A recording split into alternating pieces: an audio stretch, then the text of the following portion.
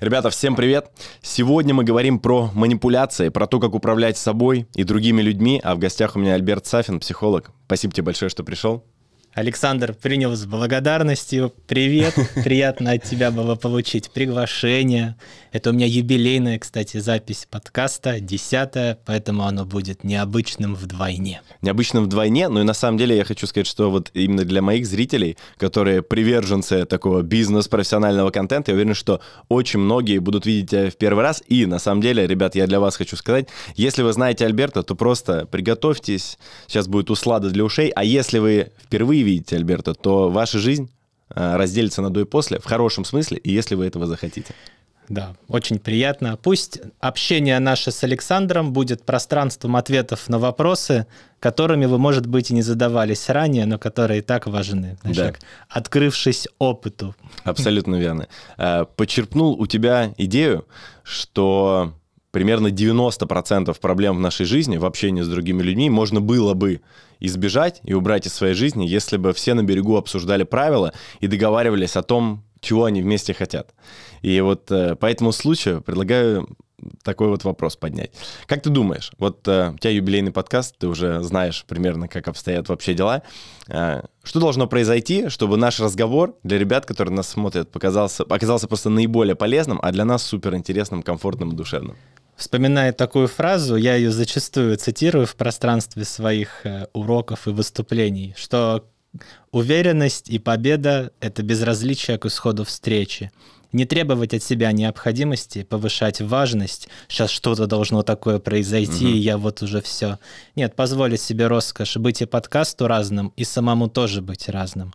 В любом случае, человек, являясь тканью, им пропитавшись, уже не будет прежним, тоже так фаршу, который невозможно провернуть назад. И вообще в жизни в целом когда мне очень приятно, что ты меня встретил, входим сюда, и мысли о записи подкаста с утра тоже позволить себе роскошь не требовать необходимости от жизни требовать. Что-то должно обязательно в виде золота капнуть мне в ладонь. Как будет, так будет. Доверившись, можно фоном, занимаясь параллельно какими-то делами, а можно специально с конспектом изучать, как вам комфортно, а может даже не один раз на ваше усмотрение. Я бы подготовил конспект. Даже вот эта тема, что позволить себе роскошь быть тому, что сейчас произойдет, не требуя необходимости выдавливать золото а где руками. вот эта вот грань интересная, тонкая? Я слышал от тебя эту идею, и мне было, я, знаешь, сам задумался, где вот эта тонкая грань между не ожидать, не требовать, расслабиться, быть в этом моменте, наслаждаться им, и вот эта тонкая грань пофигизма, где ты переходишь уже не, не, не с позиции «я не требую, а я просто делаю», в позицию пофигизма, где ты уже не так качественно делаешь, где, ты, где вот эта тонкая грань, как ты ее, как ты ее определяешь? Сейчас расскажу. Вот человек, он же живет во времени, в пространстве. Да. Тоже я вот на своем примере вхожу я в это пространство, где мы записываем этот подкаст в этом времени, сегодня, в сегодняшнем дне. И вопрос, с которым можно позволить себе роскошь себе задать. А что будет для меня наилучшим результатом этого времяпрепровождения? Что будет для меня наилучшим результатом сегодняшнего дня, этой недели, этого времяпрепровождения? То есть этот вопрос, он фрактален, можно задаваться им по отношению к большим и к малым промежуткам времени. И вот что будет для меня наилучшим результатом нашего с тобой общения здесь? И здесь должно быть минимум два ответа на этот вопрос. Первое – это критериально конкретный, например, это выпуск продолжительностью более полутора часов, который я в текстовом формате сделаю частью одной из своих книг, который наберет соответствующее количество просмотров и подписчиков и вес личного бренда. Это цифры. И второй момент, что будет для меня наилучшим результатом с точки зрения того, что я выбираю прокачивать и тренировать. Например, это улыбка, зрительный контакт, одновременно продумывание реплики, далее вербализация воспроизведения речи, прислушиваться к твоим вопросам, к атмосфере здесь, учитывать состояние тела, свое сердцебиение, ну, легкое такое расположение, словно мы плывем в потоке. Два ответа на этот вопрос, то есть цифровой, критериальный, который должен быть обязательно, чтобы не было этого пофигизма. Есть-то надо, хлеб-то должен быть. Да, Мы согласен. же существа биологические, так сказать, и необходимо энергией подкрепляться. Деньги тоже это важный ресурс. И второе, это с точки зрения вот э, даже если первого не получится, ничего страшного. Даже вдруг мы записали этот подкаст, и бац, какой-то волшебной силой записанные данные, они просто улетели в нигде и в никогда. Ничего страшного. По второму-то пункту я галочку ставлю. Тренировочные аспекты были, и сам процесс упражнений продолжался. Поэтому вот это Второй пункт перед любой активностью. Что будет для меня наилучшим результатом этой активности? И два ответа на них. Критериально-цифровой и с точки зрения того, что я выбираю развить и в чем практиковаться. Это позволяет удерживать баланс да, то есть, по сути, ты определил и с точки зрения результата, и с точки зрения процесса. И именно определение э, вот этих критериев, целей, назовем их так, они тебе не позволяют скатиться в этот пофигизм, потому что пофигизм, по сути, это ты пустил на самотек, не имеют цели, да, не, с меня нет спроса, ни с чего не спроса, и тогда получается пофигизм. А тут, получается, ты сам себе определил вот эту вот грань, да, своего комфорта, баланса и ожиданий. Да. Смотри, но здесь же есть еще важный второй элемент. А, у тебя есть свои цели и ожидания, а у меня есть свои, например, цели и ожидания, да? В данном случае они абсолютно точно совпадают, и судя по тому, что я слышу. Но давай представим ситуацию, что у меня цели другие и задачи. И так бывает, знаешь, когда встретились два человека, один хочет одного, вроде бы они договорились об, об одном процессе, о том, что они делают одно дело, но цели преследуют разные. Например, кто-то хочет, мы договорились построить дом с тобой, и кто-то хочет построить дом, искренне сделать какой-то шикарный объект, чтобы потом он просто радовал глаз, восхищал, чтобы семья, которая в нем будет жить, радовалась, а второй человек, он хочет скоммуниздить побольше денег со стройки и быть вот таковым. В нашем конкретном случае цели наши совпадают, но вот представим ситуацию, что не совпали, и ты пришел за одним, а я за другим. Вот каким образом, в какой момент должен происходить вот этот вот, на твой взгляд, матч, чтобы, чтобы на дистанции это не выливалось в какую-то проблему? Здесь вот такой прием может быть полезный. Насколько я понимаю, ситуация по факту А, насколько я понимаю, мы с вами согласовали да. строительство дома, а здесь я вижу уже колодец глубиной 2 метра. Да, хотя у нас было соглашение Б, хотя мы с вами договорились о строительстве дома. И сейчас, судя по всему, происходит что-то, что не соответствует этим соглашениям. Приглашаю сделать паузу и обсудить текущее положение вещей и прояснить наши цели. Как вы на это смотрите? Это может быть полезно, потому что в противном случае есть риск потратить время напрасно, а сделав это, мы обеспечим себя такими-такими преимуществами. Что думаете по этому поводу? Сделать паузу. Насколько я понимаю, ситуация А — хотя соглашение было Б. Как вы смотрите на то, чтобы сделать паузу С и обсудить положение вещей? Это может быть полезным. Что думаете по этому поводу? Я думаю, что это очень интересно, но каждый раз, когда я слышу от тебя такую идею, я пытаюсь представить это вот живую картину. И я помню себя в эмоциональных ситуациях, когда я пришел строить дом, а кто-то тянет из него деньги. И я реагирую не так, что «а давайте-ка мы сейчас». То есть у меня в этот момент огромное количество эмоций нахлынывает, и в действительности конечно, я пытаюсь как-то совладать с собой, найти решение, но мне человека в этот момент зашибить хочется больше, чем что-то с ним решить. И вот давай, прежде чем мы пошли дальше, немножечко с собой как бы растаем такие, знаешь... Сейчас, здесь по... важная деталь, давай. что дом был метафорой. Да-да-да, безусловно, безусловно, да. дом был метафорой, да, да, чтобы мы не укатились в строительство дома. Да, а, я, когда э, смотрел с тобой интервью и твой материал, я, всегда, я пытался для себя понять, насколько в действительности вот технологии речи, да, манипуляции с помощью речи, управления, вот какой-то правильной коммуникации, насколько их в действительности, на твой взгляд, можно внедрить в жизнь, чтобы это было эффективно? Или же это в большей степени интересный материал, интересный контент, 1% от которого реально может быть внедрен и который может вот использоваться в жизни? Как ты думаешь? Ну вот даже если одна промилле будет внедрена в жизнь, это уже будет большой победой. То есть я не требую от себя необходимости, чтобы все 100% материала были э, зрителям, например, приняты в жизнь на все 100%. Нет, даже одной промили, не говоря про 1%, более чем будет достаточно. А здесь важный момент, в первую очередь, это контроль тела. Тело управляет мыслью. Если человека несет на там, химическом уровне, и он э, сверхэмоционален, и достаточно ему вот зажженные лампочки рядом, чтобы он всполыхнул, подобно спичке или петарде, конечно, здесь ему речь не поможет. А вот про внутреннее состояние, про вот дыхание, про что будет для меня наилучшим результатом этого взаимодействия, про понимание, что это лишь информация, которая витает в воздухе, про безразличие к исходу встречи. Это позволяет быть внимательным к речи. Друзья, я заметил интересную закономерность. Чем дольше занимаешься бизнесом, тем больше видишь ошибки в своем прошлом. И думаешь, вернуть бы меня в то время с сегодняшними знаниями, я бы заработал свои первые серьезные деньги быстрее и кратно больше. Уверен, вам это чувство знакомо. Но пока путешествия во времени не придумали, есть другой рабочий вариант, как сделать буст для своего бизнеса. Хочу порекомендовать вам рубрику «Разборы» на канале Михаила Гребенюка. Формат разборов бизнеса не новый для Ютуба, но у Михаила получилось сделать его не только увлекательным, но и полезным для зрителя. Это не какие-то причесанные постановочные интервью. Крутая фишка разборов, что Михаил не знает, кто будет гость.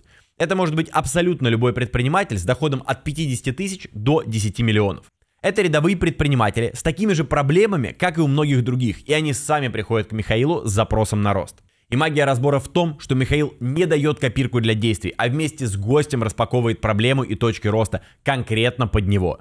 Всего за час с небольшим разбора вы видите все цифры бизнеса, как был построен, где косяки, где можно переделать, как поднять средний чек или масштабировать всю модель, где влить деньги, а где обновить персонал, без воды и лозунгов типа «встань и иди». На канале уже более 40 разборов, и каждый имеет свою уникальную ценность и неочевидный результат. Особенно будет интересно для тех, кто считает, что уже сложно делать иксы в своем бизнесе. В этой рекламной интеграции я специально не рассказываю вам бэкграунд Михаила. Хочу, чтобы вы сначала посмотрели хотя бы один разбор на канале, ссылку на разбор оставляю в описании. И если зайдет, погуглите Михаила Гребенюка, чтобы узнать, почему он разбирает предпринимателей и собирает хорошую аудиторию. Переходите по ссылке, подписывайтесь на канал Гребенюка и обязательно возвращайтесь досматривать наш подкаст. Поехали. А касательно вот этих манипуляций, у меня, кстати, определение, что такое вот манипуляция. Я как раз к этому и веду, видишь, а ты сам уже за меня, так сказать, перешел туда, да. куда надо. Какое да. бы ты определение дал этому слову? Манипуляции. Надо было Википедию открыть. Ну ладно, нет. А, мои ощущения. Манипуляции — это э, осознанное либо неосознанное э, управление, как бы осознанное либо неосознанное управление человеком через речь, психологическое воздействие, которое приводит его ну, условно, не туда, куда он хочет. Вот как-то так бы я сказал. Да, здорово. То есть воздействие на картину мира собеседника, чтобы сделать его более послушным для выполнения команд. Да, у тебя более красиво сформулировано, но и, и, идея схожая. Да. Ровно и плавно, да. да. Конечно, это есть и в бытовом плане, там, чтобы заставить ребенка кровать свою заправить, ну и прочее. Вопрос в том, чтобы их замечать, а ведь все хорошо в меру и в той или иной дозе. У меня старшие брат и сестра, они врачи, и я с детства это чаша со змеей задавал, значит, вопрос, что значит у Леночки Елена, моя старшая сестра. Это вот все хорошо в меру вопрос дозировки, что то, что может быть ядом, оно может быть и лекарством. И также здесь у любого э, решения действия есть объем вреда и пользы. Вопрос лишь в том, что мы пожинаем. Вопрос манипулирования имеет крайне важное значение с точки зрения того, как человек сам с собой разговаривает, а уже потом с другими как. Супер. Тогда предлагаю вот в этом моменте, прежде чем мы дальше с тобой пошли, э, для тех, кто нас смотрит, Предположим, что человек, который посмотрит сегодняшний подкаст и потом углубится в твой контент и вообще разберется в теме манипуляций, а, если он хотя бы частично э, это поймет и внедрит в жизнь в какие-то инструменты, как ты думаешь, может ли это качественно повлиять на улучшение его жизни? Да, у него даже здоровее станет в прямом и в переносном смысле. Например, двойные послания замечать это вообще необходимо обязательно допустим, да, ну, Саша, я же ради тебя стараюсь, видишь, приехал на подкаст, что ты не мог получше подготовиться? Это двойное послание. На поверхностном уровне словно есть что-то, что мог сделать лучше, а на внутреннем я знаю лучше, как должно быть. Зачастую человек э, просто-напросто не дифференцирует двойные послания, он не замечает их в речи. И если он замечает в речи, он начинает замечать, как ему могут лапшу на уши вешать, где угодно из каждого утюга и как он сам может себе их вешать. Когда он начинает замечать вот эти двойные послания, где на поверхностном уровне одно, но я думаю, вы сможете себе это позволить. Вы же умный человек и должны понимать, что тут к чему. Да, на поверхностном уровне словно какой-то комплимент, а на внутреннем попробуй сделать иначе, я заставлю тебя чувствовать стыд. И, конечно, с двойных посланий, с их понимания и расчленения, вот э, замечать их, а человек осознает то вовне, что есть у него внутри. Мы видим то, когда смотрим, если у нас внутри есть. Это обязательно будет сильно способствовать тому, что человек понимает, кого в жизни приглашать, а кого, может быть, держать подальше. В противном случае он безоружен, как овечка, можно сожрать даже не не разжевывая. Я, знаешь, задумался вопросом на тему манипуляции изначально. Я слушаю, думаю, как интересно. А потом я думаю, а почему вообще вот эта тема, она для меня актуальна, почему она мне резонирует, и как вообще случилось так, что я в жизни манипулирую, что мной в жизни манипулируют, и почему все не кристально чисто и понятно. И я вот, э, знаешь, изначально пытался просто разобраться для себя, как так случилось, что манипуляции пришли в мою жизнь. И я понял то, что, по сути, э, с самого детства, вот в каких-то мелочах, как ты сказал, что ребенка э, попросили заправить кровать, можно просто орать на него, да, но можно применять более, так сказать, вот такие вот схемы для того, чтобы ребенок делал то, что тебе нужно.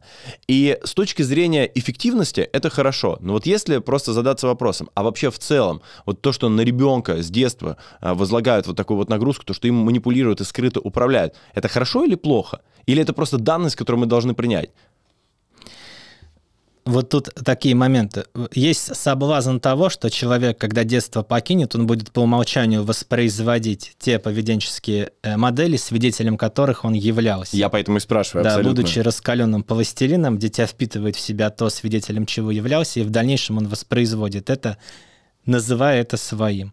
С другой стороны, наблюдение с детства таких явлений дает возможность ему, если он посчитает нужным, тренировать понимание их видеть ему есть с чем сравнивать. И он уже понимает, когда кто-то другой на него там косвенно э, воздействует, что здесь к чему. Ну, такой пример э, приведу там. Касательно очень чувствительными являются люди из э, дисфункциональных семей, у кого кто-то из родителей имел химическую зависимость. Они с детства по э, громкости, как входит ключ в замочную скважину с детства, могут определять, сколько было выпито мамой или папой по выражению лица, по запаху даже, по тому, какие мышцы напряжены, а какие расслаблены. Это тоже все индикатор выпитого. Как бы лишнего не сказать, чтобы не спровоцировать. С одной стороны, э, такое может быть вы меня извините, в кавычках, преимуществом детятка, потому что в дальнейшем его экстрасенсорные способности могут позволять ему ну, замечать. Они очень чувствительны. Эмпатия, да? Они могут становиться хорошими потом врачами, персональными тренерами. Ну, в общем, людьми, помогающих профессии, так скажу. Они чувствуют. Но у них есть, конечно, склонность к созависимости, когда то, насколько они хорошо себя чувствуют, это определяется тем, как э, обращает ли на них внимание кто-то другой. Угу, зеркали, да, то есть такие какие-то проецируют на себя. Точно. И вот здесь эти моменты, они могут быть как и недостатком, так и могут стать преимуществом, если человек смог воспитать этого демона, сделать его своим ресурсом, а не ахиллесовой пятой. Поэтому касать, мы же все из детства, и вряд ли можно найти человека, пальцы на него показать, который из детства идеального. Все так или иначе из детства своего, и у каждого оно было уникальным в своей неидеальности. Поэтому вопрос в том, что я выбираю туда извлечь, что в жизнь добавить, и даже если на меня орали, заправляя кровать, или как-то выворачивали пальцы, заставляя смущаться, или я под кровать залезал, когда услышал, как входит ключ в замочную скважину. Чему я там научился благодаря этому, и как я могу не позволить некому, не самому лучшему продолжаться в жизни дальше. Это к тому, что у всего есть вред пользы, вопрос лишь в объемах и вопрос в отношении, как мы на это смотрим. С точки зрения этих манипуляций, я их не демонизирую, просто бывает складывается у человека впечатление, что ну, Альберт, ну как же так, неужели вот это? Нет, все в порядке, это есть, может сложиться впечатление, что я их демонизирую, все в порядке. Мы зачастую, даже вот, вот эта вступительная фраза, Александр, это же десятый выпуск, он праздничный, он будет да, необычным. Да, да. Это же своего рода тоже не без двойных посланий. Конечно, да. Я таким образом как бы обязываю оно не должно стать хуже, чем другие. И подчеркнул еще, опять же, да, количество уже, понимаете, тут уже человек да, пришел как да. бы с опытом. Да, вот и начать со слов благодарности, своего рода как бы разминать пластилин собеседника с позитивной эмоцией. Ведь тело uh-huh. управляет мыслью, и важно отслеживать, кто в моем собеседнике сейчас, древняя могучая рептилия или человеческая, что недавно появилась. И вот следить за тем, чтобы позитив висел в воздухе, а не свинец ртутный который наносит боль, тоже важно. То есть это же тоже мани... угу, двойные да, послания, даже вызов благодарности и позитивных эмоций. Поэтому это вопрос в том, на каких, какими нотами выбираете вы играть на нотном стане. Кстати, вот, возможно, я просто не образованный слишком, но я никогда не знал вот на аптеке вот этот стакан со змеей, я их помню, они в детстве везде были, я не, ну, не понимал смысла про, э, про да, дозировку. Змеи, да, да, да, я, я, я, я, точнее, не то, что не, я даже не задумывался никогда, ты сейчас рассказал, и думаю, о, действительно. Да. Но вот про, к слову, про пользу и про яд. А, у меня был такой момент в жизни, когда я очень углубился вообще в психологию, начал читать книжки и так далее. И знаешь, что произошло? Произошла очень интересная штука, которая вначале мне показалась полезной, а потом я увидел абсолютно обратную реакцию, что если раньше я был в потоке, плыл по течению. Не то, что я, я знаю, я слушал свой внутренний мир и просто как бы откликался на него. Я в, в таком, знаешь, на автомате шел вот туда, куда мне надо идти. Я не задумывался вообще ни о каких вещах, вот, ну, ты понял, о каких-то банальных. И после того, как я углубился во все это, я понял, что я теперь убрал из своей жизни огромное количество автоматизмов. И я банальные вещи, когда делаю, я думаю такой, так, а точно ли это правильное или неправильное действие? Я тебе приведу пример. Если раньше я мог ехать в такси, и э, там, я не знаю, мне жарко или холодно, я говорил, сделайте похолоднее, пожалуйста, или там пожарьте, то сейчас я, например, один раз попрошу, вот сегодняшний пример, я еду, я говорю, сделайте, пожалуйста, попрохладнее, типа, дышать нечем. Вот, он делает, врубил так, что холодильник. Я еду две минуты, понимаю, что мне теперь холодно. И я уже думаю о том, что, блин, я же уже его просил, так, не сделаю ли я человеку дискомфортно? И ты, ты понимаешь, у меня внутренний анализ начинается. Это просто такой один из примеров, но это началось много где. Когда я принимаю решение, когда я говорю что-то жене, когда я говорю что-то детям. И, и я думаю, что это забирает у меня очень много ресурса. Анализ того, что я делаю, как я говорю. Хотя раньше это было все на автоматизмах. И вот опять же, где польза от этого и точно ли это для меня полезно? Или же это уже превратилось для меня в яд? и в какой момент вообще человеку нужно погружаться в то, что мы сегодня с тобой будем обсуждать? Ну вот здесь э, касательно просьб. Многие люди просто просить не умеют. Здесь тоже, да, могу ли я вас попросить об X? Если нет, то все в порядке. В случае, который с э, такси, конечно, здесь еще от класса такси зависит. Как бы чем выше класса, тем легче просить. Здесь прямая пропорциональная зависимость. Ну вот я к чему. Я позволяю себе роскошь просить других людей о том, что мне важно, и разрешаю им сказать мне нет. Могу я тебя попросить о том, вот там, есть ли возможность записать наш с тобой подкаст в такой-то день, а не в такой-то.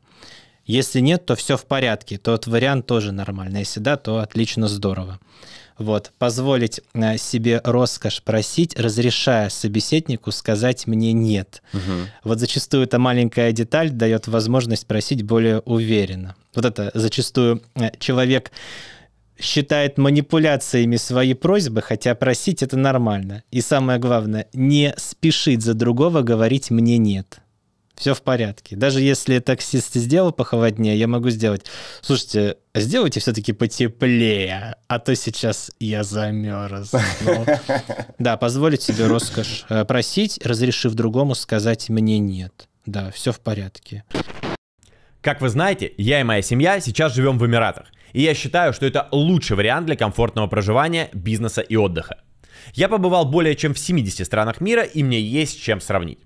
Да, в Эмиратах красиво, качественный сервис и обслуживание, высокий уровень безопасности, минимальная преступность, но здесь и лучшие условия для ведения бизнеса.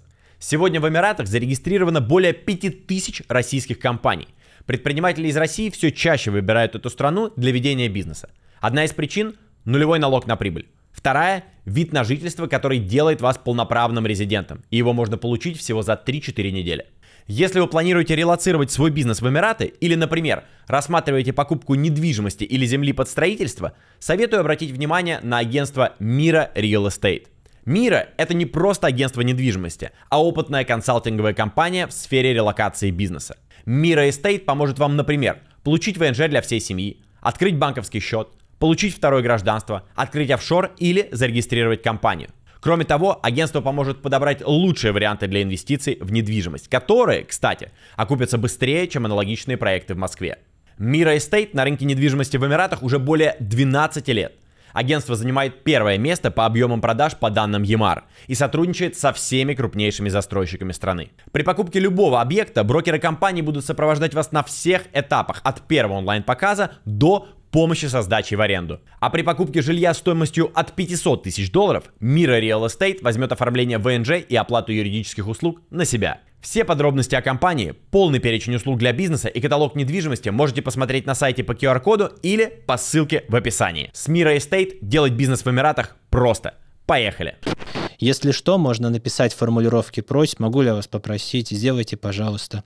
И тренироваться минут 15 каждый день на протяжении там, 20 дней. Зачастую у человека мышечно рот не привык работать так, чтобы сделать звукоизвлечение касательно просьб, и то, что у него мышцы не умеют просить, когда он называет свою просьбу, оно-то может себе объяснять тем, что книжки перечитал, что там звезда в ретрогрудном э, Меркурии и прочее. Рационализации может быть много. много. Угу. Новые идеи слабее старых привычек. Что-то не получается, тренируйтесь, действием человек осваивает навык, и потом потихонечку, о, попросил, опа, попросил.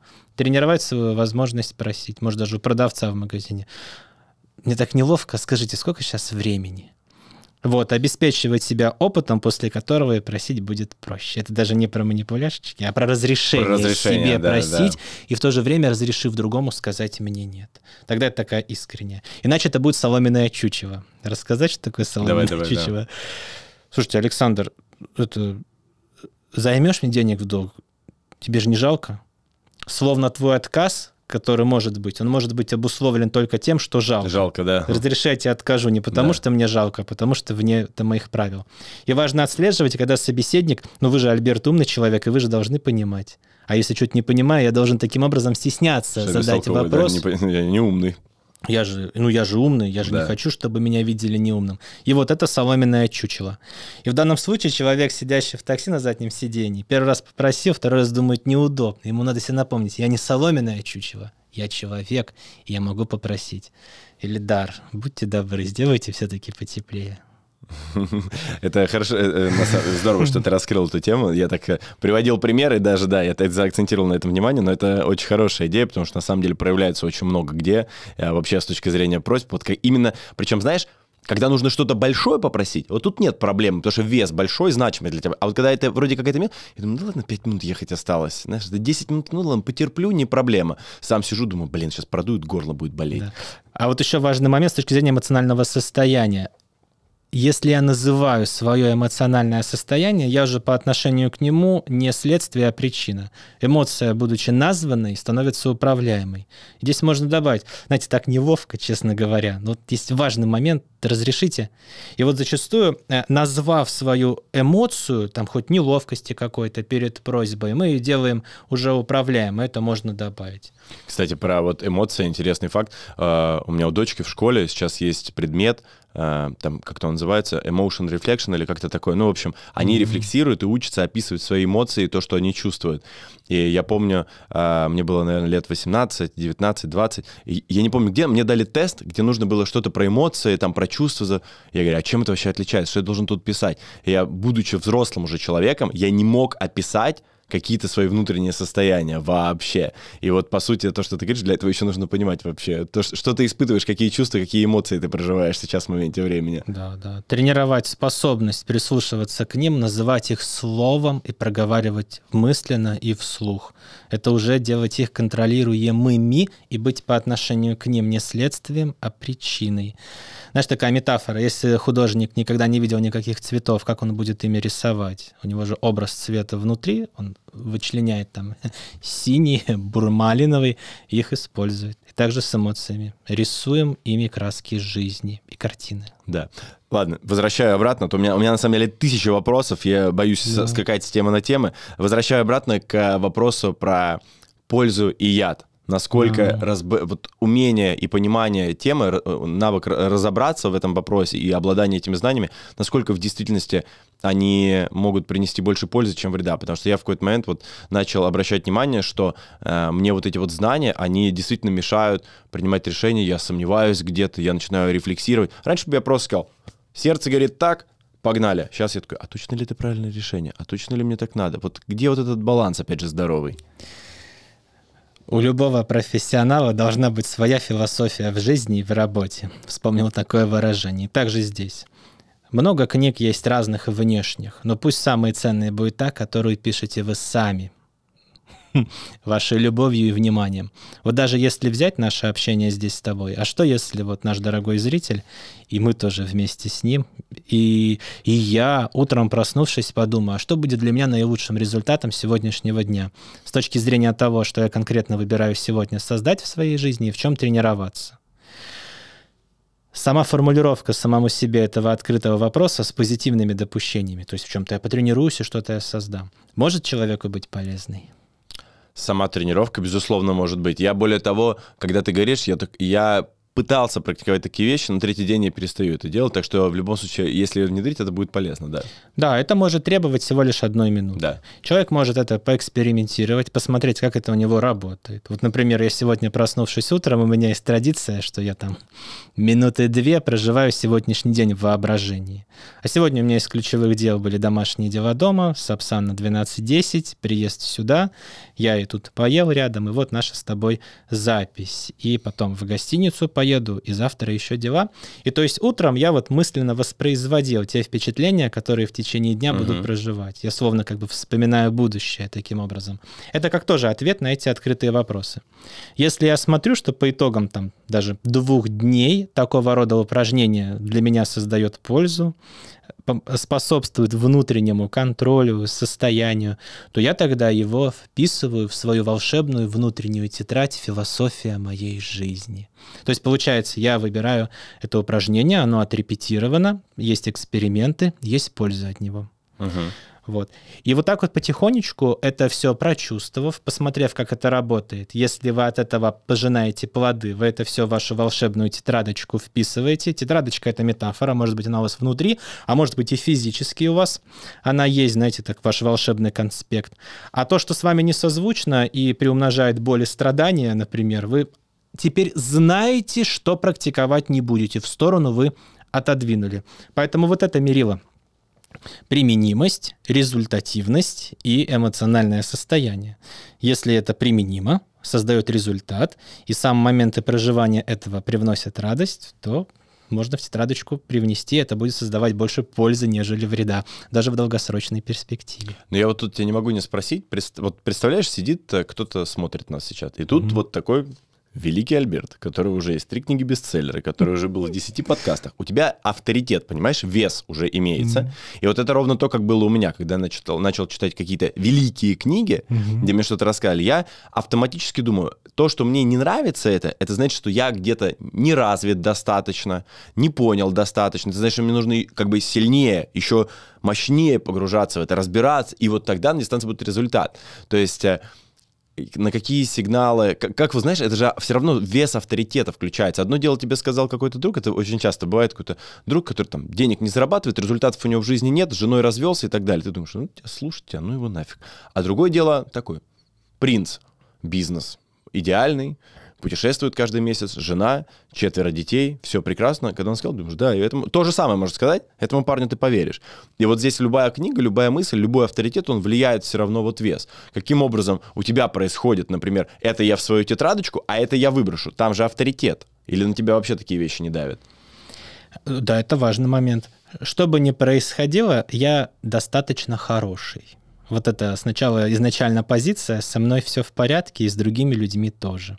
Если даже передо мной книга, вес которой является для меня пока непознаваемым, потому что зубы недостаточно плотные, чтобы жевать такую твердую пищу, это не значит, что я какой-то плохой. Нет.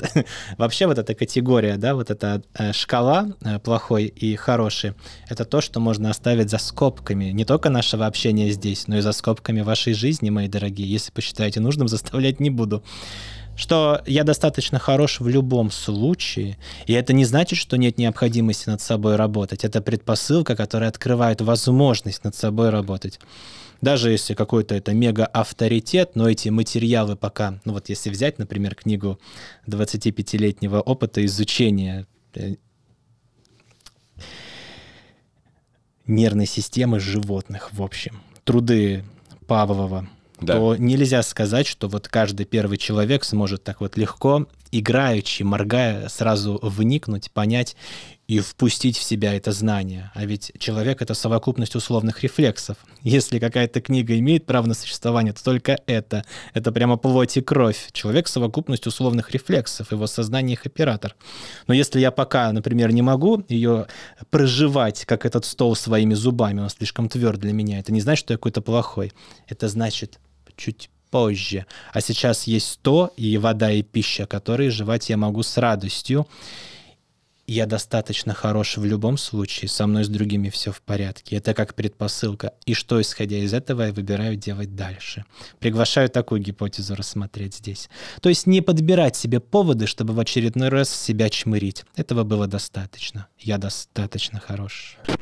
Очевидно, что бизнес должен быть максимально системным. По этому пути идут все компании. Но систематизация бизнеса — это процесс непростой. Поэтому любые знания и подсказки, как это сделать легче, безболезненнее и на современных IT-решениях сейчас особенно ценны.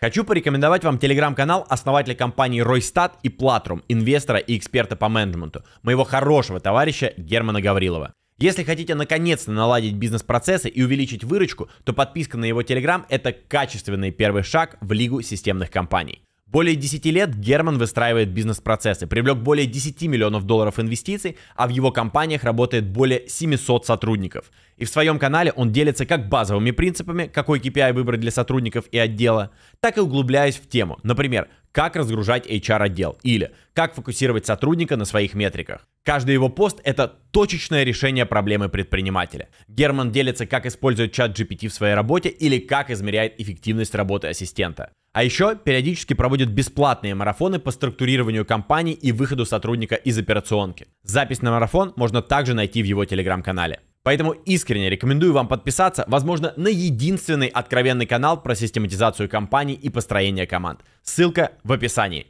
Поехали. Да, это, наверное, такое из разряда самокритичности, какого-то перфекционизма, и что такой, да, такого даже, знаешь, короны слегка на голове внутренней, что если я за что-то берусь, если я что-то читаю, то я точно должен в этом разобраться, точно должен это понять, и у меня нет права на ошибку. Если я взял книгу, и я внедряю механики из нее, они для меня не работают, это значит, что я, опять же, вот, да, как ты сказал, недостаточно хорош, чтобы ее сожрать, и начинается вот этот вот процесс насильственный. То есть у меня в действительности, я уже даже в каком-то подкасте рассказывал, что меня это привело к не очень хорошим результатам, результатом, когда я начал внедрять в свою жизнь те вещи, которые принял за чистую монету от другого человека, не пропуская через свою рефлексию, через свои собственные ощущения. Да, да, да. Да, и в итоге да, да. это ничем хорошим не обернулось. Чуть-чуть назад. Это очень важный момент. Да? Но еще вернемся про это прям да. очень интересная тема, потому что я прям точно хочу ее поднять на тему того, как разобраться в себе. У меня буквально все предприниматели-гости, которые добились большого результата, они всегда главное разобраться в себе. Что это значит, непонятно. Но оставим это на чуть позже. Я хочу да. вернуться назад по поводу... Мне нравится вот эта механика по поводу представить свой день и настроиться с утра. И я в действительности, знаешь, у меня бывают такие моменты, я просыпаюсь с утра, светит солнце, я сажусь за руль машины, я еду, и я чувствую, сегодня офигенный день будет. Просто я прям, я прям еду и говорю, сегодня будет офигенный день. И у меня день как по маслу. А бывает наоборот, я просыпаюсь, и с самого начала все не очень. А, и у тебя вот есть такая механика, как ты сказал, что ты пропускаешь, представляешь сегодняшний день. И ты представил, что у тебя все прекрасно, проходит, сапсан и так далее. Но что происходит в тот момент, когда ты себе напредставлял, а в середине дня что-то жестко выбивающее тебя из колеи? Каким образом ты реагируешь на это? Это же смазывает картину, смазывает твой настрой в любом случае. Да, я сейчас вспомнил, вот ты спросил, я помню, прихожу в офис, включаю свой ноутбук, он так, в общем, перестал работать. Ну вот пример, да. Да, я подумал, что-то важное и ценное прямо сейчас будет происходить. Я так благодарен этому опыту, потому что после той поломки того ноутбука я перешел на iMac большой стационарный, и тот ноутбук мне, кстати, починили, он, он сломался за две недели до окончания гарантийного срока, угу. представляешь, да? Так вот, это с одной стороны. То есть, э, конечно, я сейчас э, вношу человеческий разум в ход вещей. Ну а человечивать, да, наш космос и песчинку, на которой мы летим из ниоткуда в никогда, приглашаю, это такое магическое своего рода мышление, немножко понижает тревожность и позволяет согреться у костра в древнем племени. То есть, когда что-то идет не по плану, я выбираю считать в этом какой-то важный смысл. И вот э, я выбираю его найти. Надо же, как вовремя ноутбук сломался. Надо же, какая прекрасная возможность обеспечить в офисе себе стационарный, чтобы с большими мощностями заниматься э, тем например, записью и редактированием уроков. То есть, если что-то идет не так, я выбираю считать, что у меня есть такая метафора, когда я вот затрагиваю образные темы, я, разрешите, позволю себе роскошь немного быть не только Альбертом Сафиным, но и волшебником Альберто. Словно вокруг меня есть бессознательное, которое меня окружает. Ты тоже плод его, угу. какая-то камера и этот стол.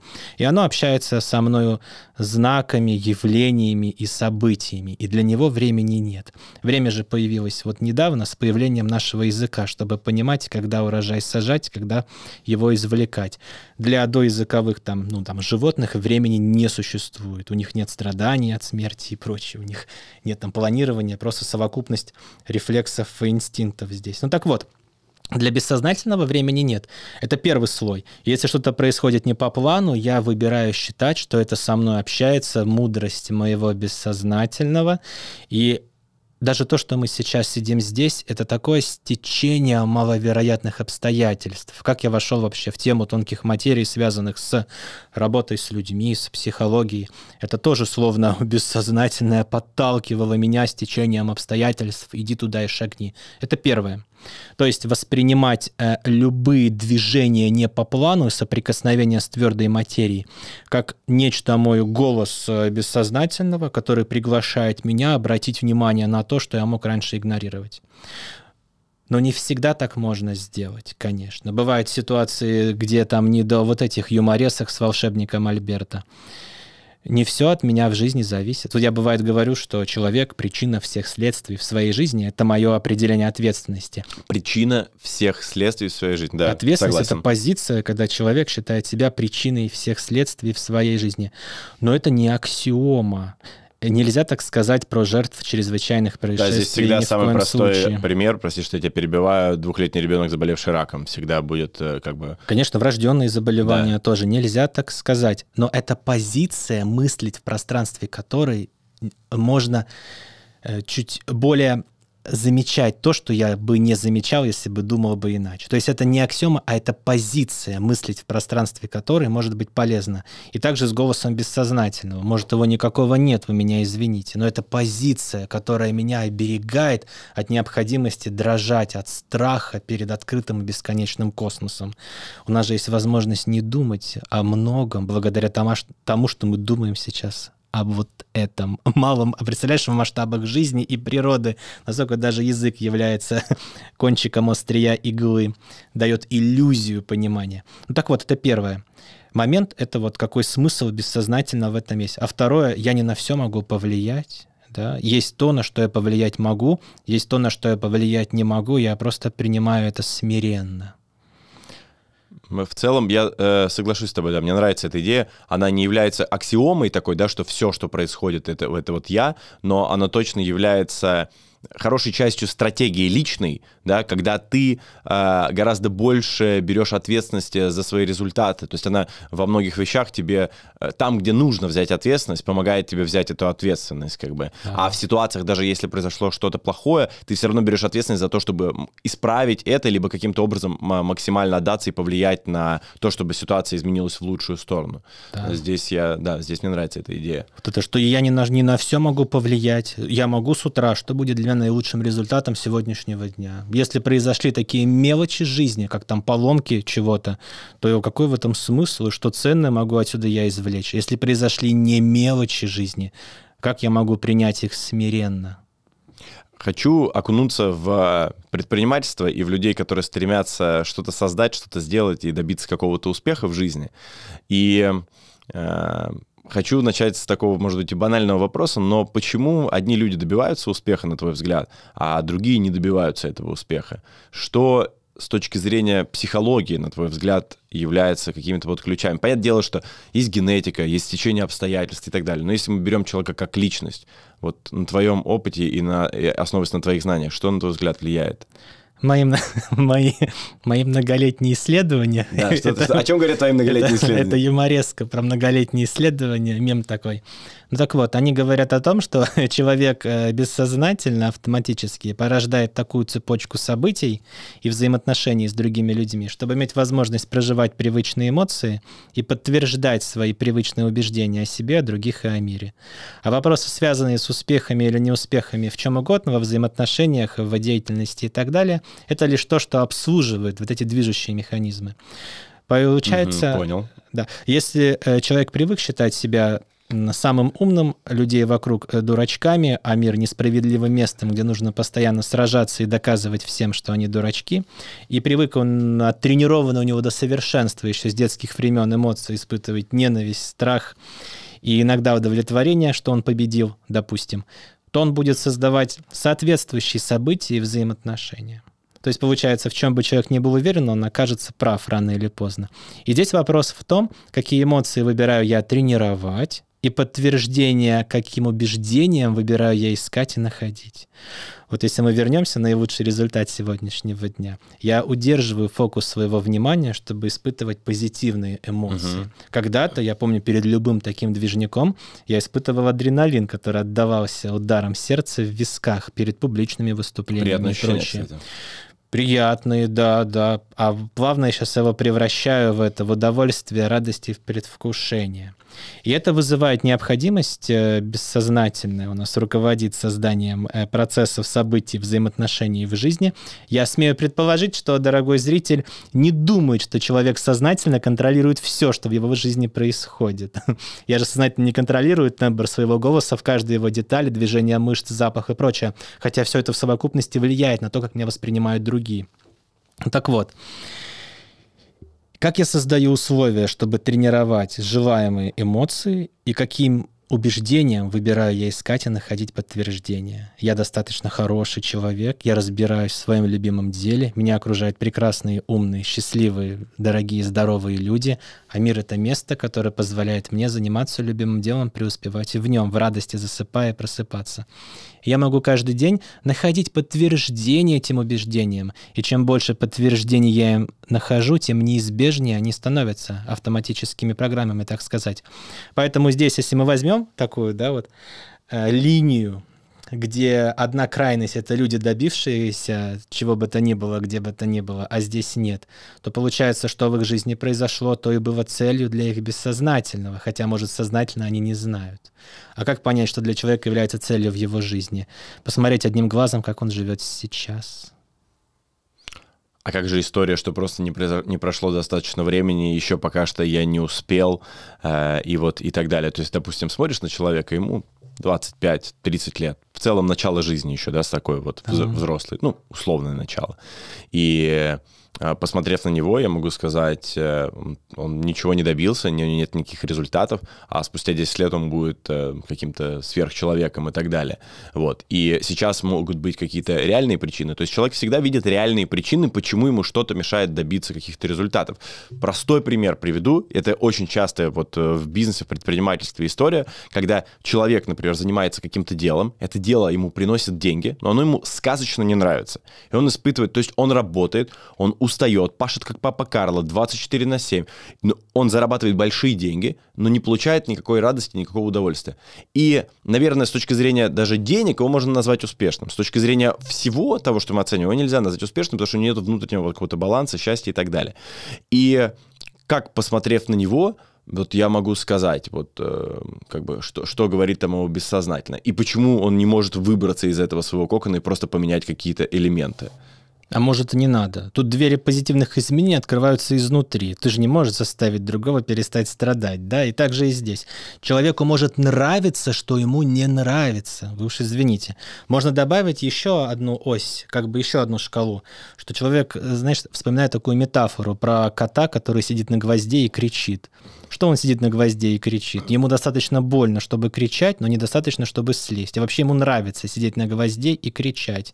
Поэтому здесь, в твоем примере, человеку может нравиться, что ему не нравится. Может быть, это единственная тема для разговоров, чтобы заполнить вакуум кальянный, в которой он сидит по пятницам вечером со своими товарищами. Ребята, я так задолбался, даже не знаете. Может, это возможность у него вот э, нравится, что не нравится, это повод для разговора. А то, что внешне, это как просто мимикрия. А касательно товарища, которому 25 лет, но мы не знаем, какой человек путь прошел за его плечами. Может быть, э, э, дворник, подметающий улицу в свои 40, произвел в своей жизни гораздо большие подвиги, чем какой-то молочный крепыш, который деньгами питается. Поэтому здесь тоже это такой относительный момент. Каждый делает лучшее, на что способен в каждый момент времени, используя способности свои в совершенстве, которыми он владеет сейчас. И что вот новые способности выбираете вы добавить сегодня, мои дорогие? Вот мне понравилась история про вакуум кальянный, очень как это... А, так можно в целом, наверное, про каждого человека сказать, но тем не менее, давай попробуем углубиться в этот пример. Вот смотри. А... Про каждого человека, э, случай которого не задокументирован в Уголовном кодексе. То есть мы находимся сейчас в мире э, здоровых более-менее людей, не пребывающих в стационаре да. и в тюрьме. Да, да, безусловно. Ну вот просто я представляю, да. это на самом деле э, такой, знаешь, это этапная такая история в предпринимательстве, по крайней мере, которую я наблюдаю, что у человека часто бывает, что он начинает чем-то заниматься, получает результаты, ему перестает нравиться это дело, он подходит к какому-то, какой-то планке своего развития, да, к какому-то уровню, и дальше у него есть выбор. Либо он закрепляется в этом состоянии, и в состоянии человека, который вот, ему не нравится, он страдает, и он всегда находит причину, почему он не может прыгнуть выше. У него всегда есть в голове четкое объяснение. При этом он говорит, я очень хочу вот туда, но вот ты смотришь на объективную картинку, и он вот реально вроде бы у него как бы и опций каких-то нету, и как-то и идей каких-то нету, и он реально делает все, что может. Где, вот знаешь, у меня автоматом возникает вопрос, где человек сам себе врет, где он, где он сам себя обманывает, и как человеку может нравиться страдать. Вот э, касательно того, что ты говоришь, вспомнил такую зарисовку, что возраст, в котором у мужчины умер отец, как правило, когда он сам к этому возрасту подходит, некая тревожность может нарастать, и вот важно этот возраст перепрыгнуть. Очень есть высокая статистика, что примерно в том же возрасте и дети отчаливали. Ну так вот, это к тому, что человек же может не осознавать этого вовсе. Человек вообще мало чего осознает. Поэтому вот здесь может быть важным, а как бы вы хотели, чтобы было. Немножко вот растолочь. И вот если человека представить как пластилин, то такой замороженный пластилин, который ригидным является, из него никак не угу. слепить. Разогреть его и слепить, тоже к маленькому упражнению, да? А вот если бы у вас была волшебная палочка в вашей правой руке, то какое бы желание вы загадали? Зачастую у человека чего-то нет в жизни еще и потому, что он не разрешает себе этого представить. А хотя бы вот в том примере есть у человека представление, как бы он хотел, чтобы было. Очень популярно и легко знать, как я не хочу, но гораздо сложнее знать, как я хочу. С языка у меня прям снял то, что я хотел сказать, когда человек в этом состоянии находится, да. он погружен в мысли о проблеме, он и погружен. очень сложно думать о чем-то другом и представлять mm-hmm. какие-то варианты, потому что проблема, она съедает. Это знаешь, когда ты едешь по дороге, yeah. и на другой стороне, это прям реальный пример, я ехал с дачи и стоял в двух с половиной часовой пробке, и, и там, ну, видимо, понимаю, какая-то огромная просто авария. И мы подъезжаем к моменту аварии, и знаешь, что, и что я осознаю? Что авария не на нашей стороне, а на той. Просто все останавливаются, чтобы посмотреть. Mm-hmm. И из-за этого гигантская пробка. И здесь то же самое. Человек концентрирует внимание на проблеме очень сильно. И каким образом это легко сказать всегда, но каким образом начать думать туда? Каким образом, когда тебя съедает проблема, нежелание, вот эти негативные эмоции, вот это вот все, как начать смотреть туда и что-то себе еще верить в это, главное? Я так люблю эту тему. Это моя любимая тема. Давай. Спасибо. Здесь такая метафора сразу рождается. Можно представить такого человека, мухой бьющейся об стекло. Так. Наверняка такую зарисовку каждый из нас часто видел. Я в офисе сейчас такое наблюдаю. Фо, э, окно открыто, вот так вот, да, на распашку, а тут закрыто, и муха бьется. Что вот ей не дает вылететь через открытое окно? Давайте ее очеловечим, как метафору задействуем. Позволить себе роскошь отлететь назад, увидеть открытое окно и вылететь на свободу. И также здесь. Во-первых, человек — это совокупность его мыслей, его эмоций и событий, в которых он находится. У меня есть мое определение, что такое эмоция. Эмоция — это проживаемая телом мысль. Хорошее определение. А событие — это то, как проживает время и пространство мои эмоции. Да. Угу, то да. есть, да, а э, мысль — это то, как мой передатчик воспринимает событие, в котором я нахожусь. Получается такой круг. Круг, да. Да, круг, он такой э, зацикливается, так сказать. Если это муха, у нее получается событие, она бьется вот так лбом своим, да, про об стекло, на эмоции, да блин, блин, блин, блин, и слова соответствующие, ну где же выход, почему нет, почему нет. На какое хотя бы одно из трех измерений я могу воздействовать? Вот если у меня есть задача, я сейчас вспоминаю, когда я учился в пятом-шестом классе, у нас был компьютер Pentium 166. 16 мегабайт оперативной памяти. Я 89 -го года рождения. Вот. А ты какого? Я 94-го. Ну так вот, э, Pentium 166. Э, ну, это очень дорогая была покупка, конечно. И представь, когда были дни, когда вот, например, я его включаю, а он не загружается, или компьютер виснет. Угу. Вот если кто-то из э, родителей бы это запалил, что у меня компьютер не работает, Альберт, ты компьютер сломал. И это абсолютно нормально, вы уж меня извините. В этом ничего такого нету. Ну так вот, можно сказать, нет, когда там супер просвещенные родители, они поймут. Да нет, конечно, я бы не хотел. Ты что, сломал, много играешь, не надо тебе за ним сидеть. Ну так вот, это вот история про того предпринимателя угу, и муху да, да. приглашаю удерживать это в голове. Ну, если не удерживаете, все в порядке. Они сейчас единым пазлом собираются. Мы рисуем картину нашего подкаста. И я помню, я сижу перед компом, и я так не хочу, чтобы родители запалили, что он у меня сломался. И у меня мысли так, э, значит, я с детства понял такую историю, я придумал такую фразу, что я знаю, что делать, я с этим справлюсь, и это легко. Я вот гонял в детстве эту фразу хотя бы минуты три, и потом в голову мысль приходит. А спрошу я вот у Петра с третьего этажа. У него, по-моему, есть что-то про Windows, операционные системы. Может, переустановить надо? Мне эта мысль пришла. То есть я сначала, если какая-то задача сложная передо мной стоит, которую я не знаю, как решить на мысленном уровне, я создаю эмоциональное состояние, как будто я уже с ней справился. И вот та же муха и тот же предприниматель, да? Я знаю, что делать. Я с этим справлюсь, и это легко, и наилучшим образом. Хотя бы просто 2-3 минуты эту мысль погонять, и сразу эмоциональное состояние приходит у меня, во всяком случае, соответствующее. И идея рождается. Возьму-ка я вот диск, приглашу домой, пока родители на работе, поковыряемся вместе, может быть, там что-то есть это. я научился форматировать жесткий диск, переустанавливать операционную систему. Я помню формат C, дробь S, устанавливать операционную систему и здесь. И я вот, а как бы я хотел, чтобы было? Чтобы у меня комп включался и работал, все было в порядке. Я знаю, что делать, и это легко.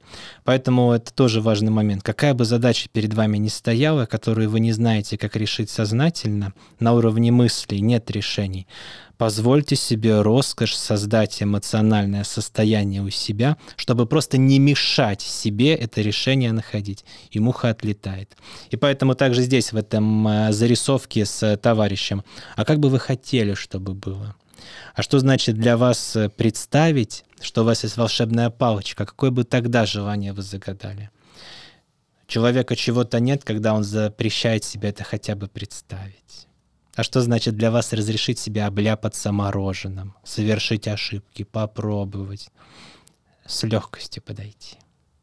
Мне одна мудрая женщина в свое время сказала, когда я пришел к ней, ну, одна мудрая женщина, э, слэш мой коуч, э, сказала мне такую фразу, я к ней пришел с запросом, она говорит, я на, язык, на языке тела чувствую, что ты не готов сейчас все равно к этому решению, и ключевое, на что тебе нужно сейчас воздействовать и на чем сосредоточиться, это не на поиске решения, а на то, чтобы прочувствовать и войти в то состояние, в котором ты готов будешь это решение принять. С точки зрения того, как чувствует твое тело, насколько ты в ресурсе, насколько ты выспался, насколько ты хорошо, там, не знаю, в хорошей спортивной форме и так далее. Я тогда для себя зафиксировал такую идею, что э, если ты не знаешь, как выйти из какой-то проблемы и найти решение, начни с тела. И когда твое тело, оно здорово, когда ты чувствуешь себя хорошо и так далее, у тебя как будто автоматически становится больше времени, больше энергии, и ты по-другому, ты, расслаблен, ты как минимум расслабляешься, знаешь, что здесь спадают зажимы, и ты смотришь по-другому на ситуацию, так знаешь, немножко. Это вот как раз про муху, чтобы, чтобы отлететь. Чтобы отлететь, А-а-а. ты должен как будто бы, вот, ну, я для себя сделал вывод, я могу ошибаться, мой личный опыт, что ты должен как будто бы стать здоровым, спокойным человеком, расслабленным, и тогда только ты можешь принять решение, потому что когда ты как муха, вот это вот, там решений здоровых вообще никогда не приходит, никаких да. адекватных. Вспоминаю два выражения в тему. Первое, все, что начинается гневом, заканчивается позором. И второе, мысль — это побочный эффект химических процессов в организме. Во. Да, поэтому обязательно нам необходимы физические нагрузки. Вот как человек живет сейчас, он не жил так никогда да, раньше. Это да, это факт. Если взять историю нашего филогенеза, развития вида, например, это же вообще физические нагрузки нужны. И, кстати, физические нагрузки — это не привилегия, вы уж меня извините, это необходимость. Я вот... Э... Кстати, это сейчас привилегия для большинства. Если ты, твоя жизнь да. и работа организована так, что у тебя есть полтора часа на спорт, то ты просто ну, маг-чародей. Да, да.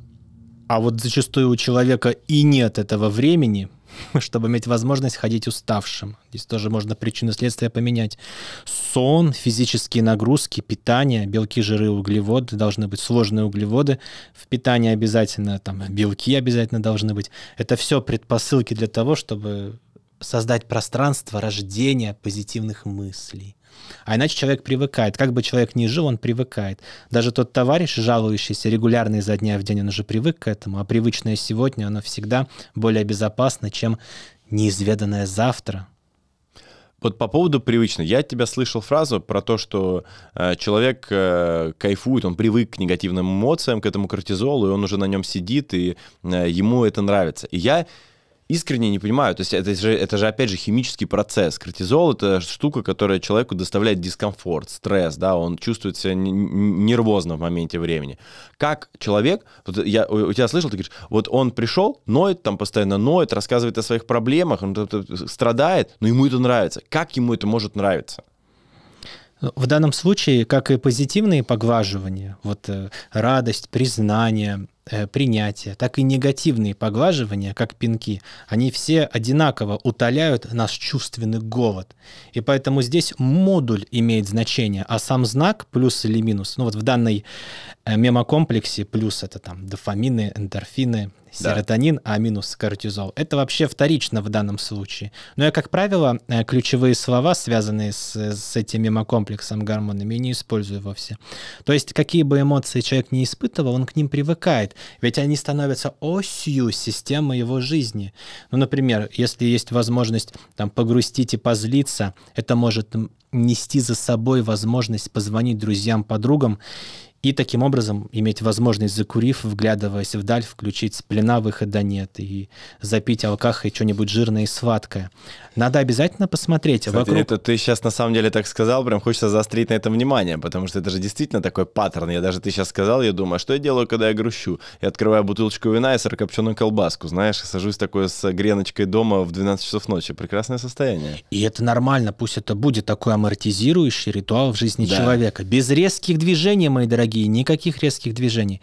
Поэтому здесь необходимо посмотреть. Это же кажется только на первый взгляд, что вот там негативные эмоции, а они являются осью для какой системы жизни человека и какое позитивное подкрепление вокруг этого построено. Mm-hmm. С точки зрения его социальной сущности, как взаимодействовать с другими людьми, с точки зрения даже вот э, сахара, алкоголя, разрешения себе то, что в хорошей жизни бы не позволил когда все хорошо, как-то зачастую неинтересно же, а когда драма какая-то, особенно если взять обывателя, да, типичного, который с детства впитывал в себя э, мелодрамы, сериал тяжелой, сложной жизни, эмоции, они меня не понимают и прочее. Да. Все остальное, что не вписывается в привычный этот знаменатель, кажется пресноватым, и тоже понять можно. Ты прям сейчас запустил у меня механизм внутри интересный, я, знаешь, прям э, рефлексия такая параллельно идет. Представь, да, представь реально, я вот сейчас летал отдыхать, и я был очень уставший. И знаешь, что я себе сказал? И мы летели же в самолете, э, что-то с ней обсуждали. Я говорю, знаешь, какой у меня план? Каждый, я говорю, веч... Э, днем я буду лежать, просто кайфовать, балдеть, купаться, а вечером я буду пить бутылку вина каждый день. И я вот сейчас и сказал, я думаю, так, это я был очень уставший, как бы просто вымотанный и так далее. А как я себя веду, когда я не очень уставший? У меня спорт, у меня какие-то активности, я так или иначе работаю, знаешь, все равно на отдыхе. И это, по сути, для меня супер усталость, это возможность реально отдохнуть. То есть возможность выпить там вина и каких-то таких вещей, которые, когда я в состоянии стабильном, я себе особо не позволяю. Интересно, а каким образом компенсировать это, чтобы не проваливаться туда? Да пусть и такое будет, если это приемлемо, не наносит там вред системы жизни человека, взаимоотношениям. Да. У нас э, с товарищами бывает, когда мы собираемся, устраиваем день плохих парней и все. Но регулярно, например, там закидывать за воротник алкахой, там даже сигареты курить регулярно, это какое здоровье могучее иметь. Курить и пить это вам не спортом заниматься, здесь здоровье надо найти. Да-да-да, вот тут я, кстати, пол... Курить буду, но пить не брошу. Тут я полностью согласен с тобой, да, потому что тут конская... Я каждый раз я восхищаюсь людьми, которые могут бухать пять дней в неделю. Я думаю, господи, какое же у вас здоровье там конское просто. Такое серьезная планочка, то есть, да. И вот также здесь, если этому есть э, ограниченное пространство в жизни, человек, который способен контролировать, то это пусть будет у него такой амортизирующий там неврозы фактор. Вот. А, островком. Э, пусть. очень-очень мне понравилось. Давай тогда еще немножечко про предпринимателей. Это вот одна из таких, э, как бы, э, не то чтобы типичных, но это то, с чем сталкиваются все, как раз когда тебя забирает какая-то проблема, и ты сейчас так подсветил вот эту историю с подумать и про правильно задать вопрос, наверное, еще, знаешь, про то, как ты для себя формулируешь. Я помню, что когда я смотрел одно из твоих видео, я даже эм, бизнес-ассистенту своему записал, и говорю, слушай, мне кажется, мы неправильно решаем вопрос. Мы с тобой последние три дня сидим и описываем, что нам не нравится и от чего мы хотим избавиться в этом проекте, да, кого, кого мы хотим, извиняюсь, уволить, что мы хотим закрыть и так далее. Я говорю, давай поймем стратегически, для чего вообще нам этот проект был нужен? Зачем мы его создавали? Какие цели мы хотели закрыть? Какие задачи мы хотели решить? И поймем, как все-таки это сделать. И если мы не найдем решение, вот тогда мы уже как бы просто закроем это и так далее. И я себя поймал на мысли, что э, когда происходит какая-то проблема, там, бизнесовая или еще что-то, первая реакция моего организма и моего мозга, сука, избавиться скорее от этого. Вот. А когда я начинаю думать, так, погоди, как, зачем я вообще этим начал заниматься? А, вот за этим хотел. Так, а почему, что, что случилось, почему меня повело куда-то не туда? А, тут я там на кого-то посмотрел, сделал так же. Окей, давайте просто откатим и попробуем еще раз. И хоп, и у тебя мозг начинает работать постепенно, постепенно, постепенно. Но, к чему я клоню? Это все равно у меня не доходит до автоматизма. Я все равно возвращаюсь на те же самые рельсы, на те же самые грабли. И возвращают меня в струю только вот подкасты с тобой, когда я такой пере... думаю, надо пересмотреть. А, ёб твою мать, я забыл об этом. И вот тогда я возвращаюсь на какой-то опять неопределенный срок. И потом снова туда скатываюсь. Как довести до автоматизма, чтобы это была как аксиома, которая у меня, как знаешь, каждый раз, когда происходит проблема, решение, проблема, решение. Да. Вот, кстати, ценное наблюдение. Сейчас вот эту мою историю раскроем тоже, что то, что мы в первую очередь обращаем внимание на то, что нам не нравится, угу.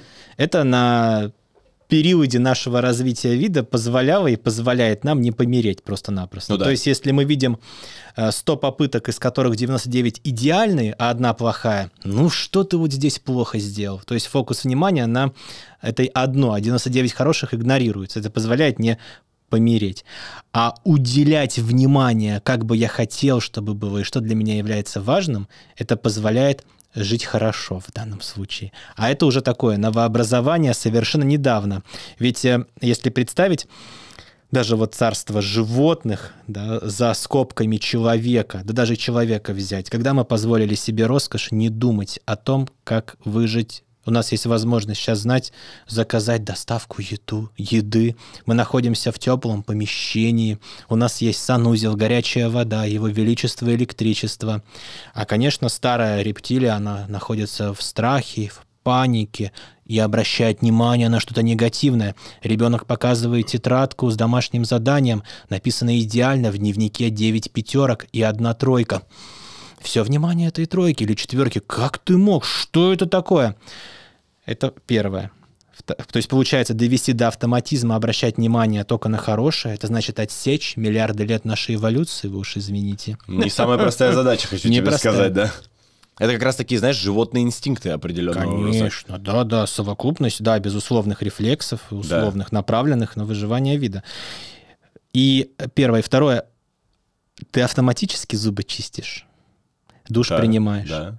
Ну как, ты же прикладываешь усилия, так пойду-ка я зубы почищу. Поставил и зубы почистил. Да, это не является подвигом, Ну да, то есть это, так как я это делаю там дважды да. в день, то да. это не является, не является проблемой. подвигом. Но ты прикладываешь небольшое, но усилие, чтобы это сделать. Ну да, когда я уже лежу в кровати, я уже почти сплю, такой, блин, зубы не почистил. Надо почистить, да, да прикладываешь да. усилия. Я вот э, бреюсь, у меня электро... раньше станком брился, он постоянно оставлял ранки, видимо, не моя тема. Потом на электробритву перешел. Блин, ладно, надо, а то мои Мои торжественные волосы дают о себе знать. Я их это сбриваю, прикладываю усилия.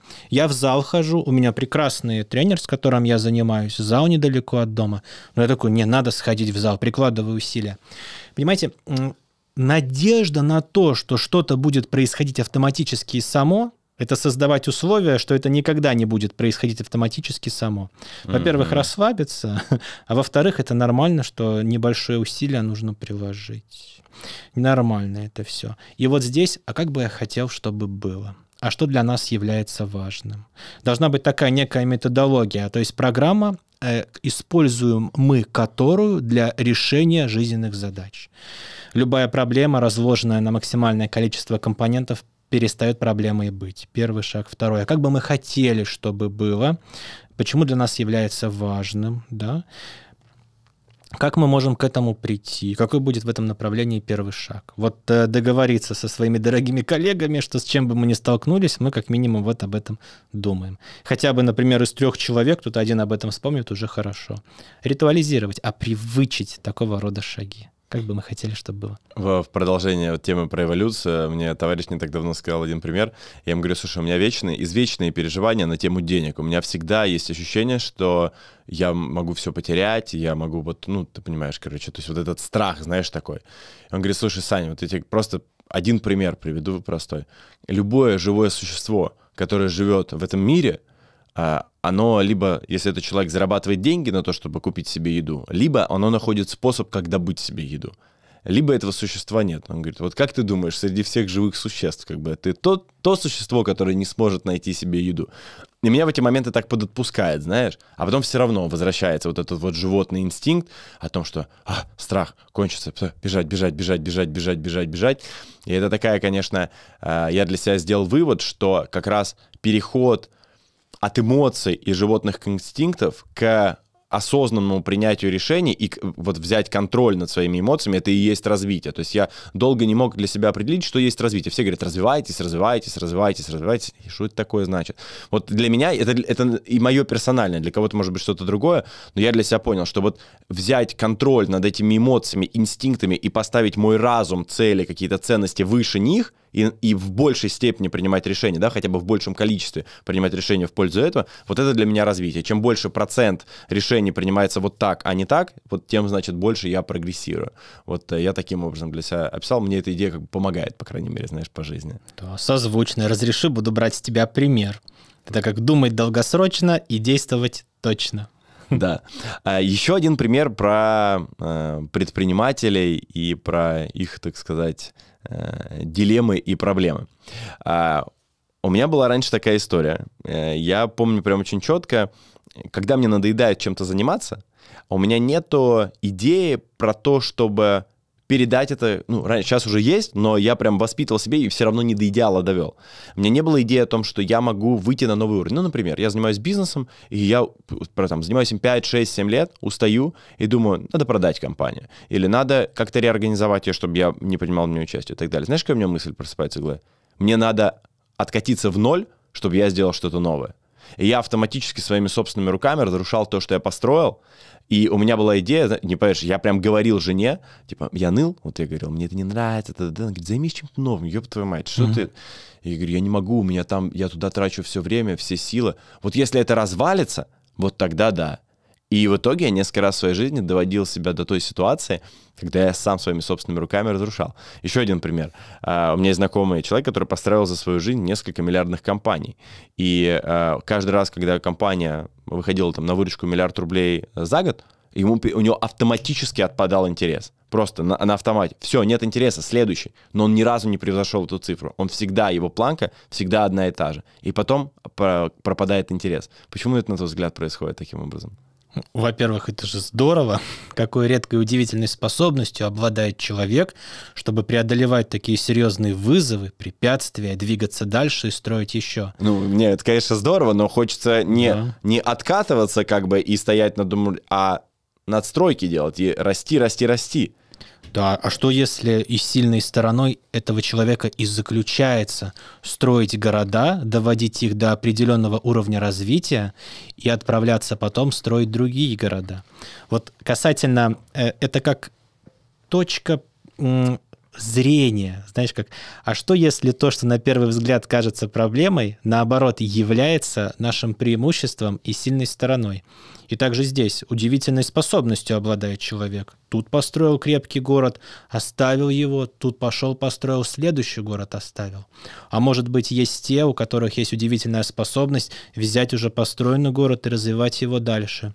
Вот я, например, прекрасно понимаю, что есть то, в чем я прекрасен, а есть те компетенции, которые я выбираю в себе не развивать, потому что есть то, чем мне заниматься нравится, что я делать умею. Ну, речь, систематизация данных, педагогическая деятельность.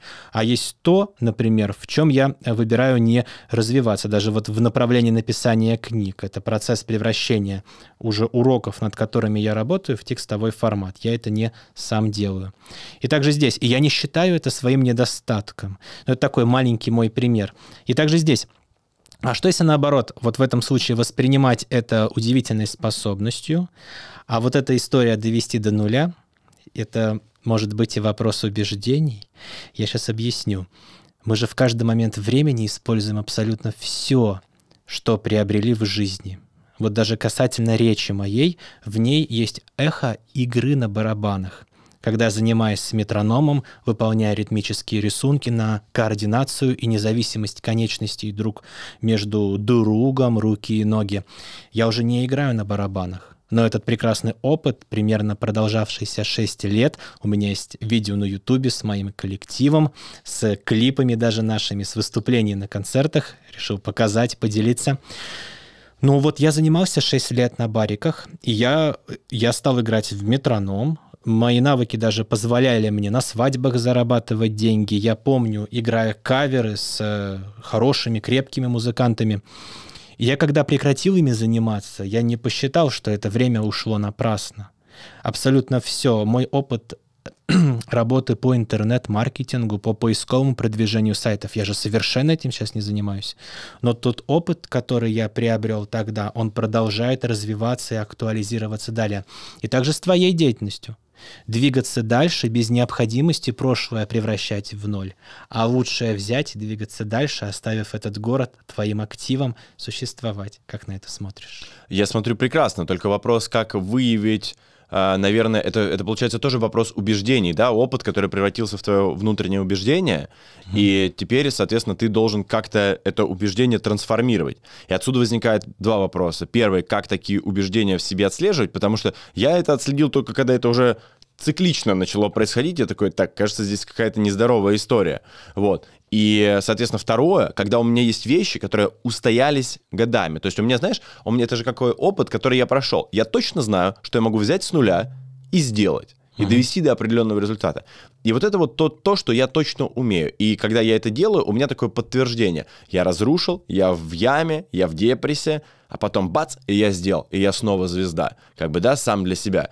Но для того, чтобы двигаться дальше, мне нужно выйти из этого состояния. И вот, собственно, опять же, возвращая к вопросу, как это отслеживать и как это видоизменять, как это превратить э, в опору, от которой можно дальше как бы оттолкнуться. Ты сказал выше, что ты это заметил, когда это начало происходить циклично, правильно? Да. А когда это происходило в первый раз, это сопровождалось негативными эмоциями? А, нет, это таким, наоборот, предвкушением приятным сопровождалось, потому что казалось, что это и есть тот правильный путь, как, как и нужно действовать. Да, негативные эмоции стали приходить на третий раз. Ну да, да например, типа того, да. да. Это я к тому, что важным критерием является э, то, о чем нам сообщает наше тело. Бывает зачастую, вот э, товарищ рассказывает, работает с командой дизайнеров, как бы все в порядке, но вот что-то не нравится, вот э, не замечает. И инициировать разговор о внесении правок вызывает дискомфорт. Угу. И вот постоянно крючки пробрасываются, что запрещающие ему делать известной его точку зрения мыслями сформулировать не может, а телесно это чувствует. И поэтому, как первый критерий, признак — это телесные реакции. И даже такое выражение в тему, чем большую неловкость я испытываю перед отказом, тем скорее «нет» сказать мне нужно. Это как признак того, что петля на шее сдавливается. Если в первых э, двух разах только э, позитивные эмоции были, только на третьем были негативные, угу. то получается вот э, голос тела уже бы подсказал, что к чему что на что-то следует обратить внимание. Это доверять эмоциям. Второе. И еще важный момент.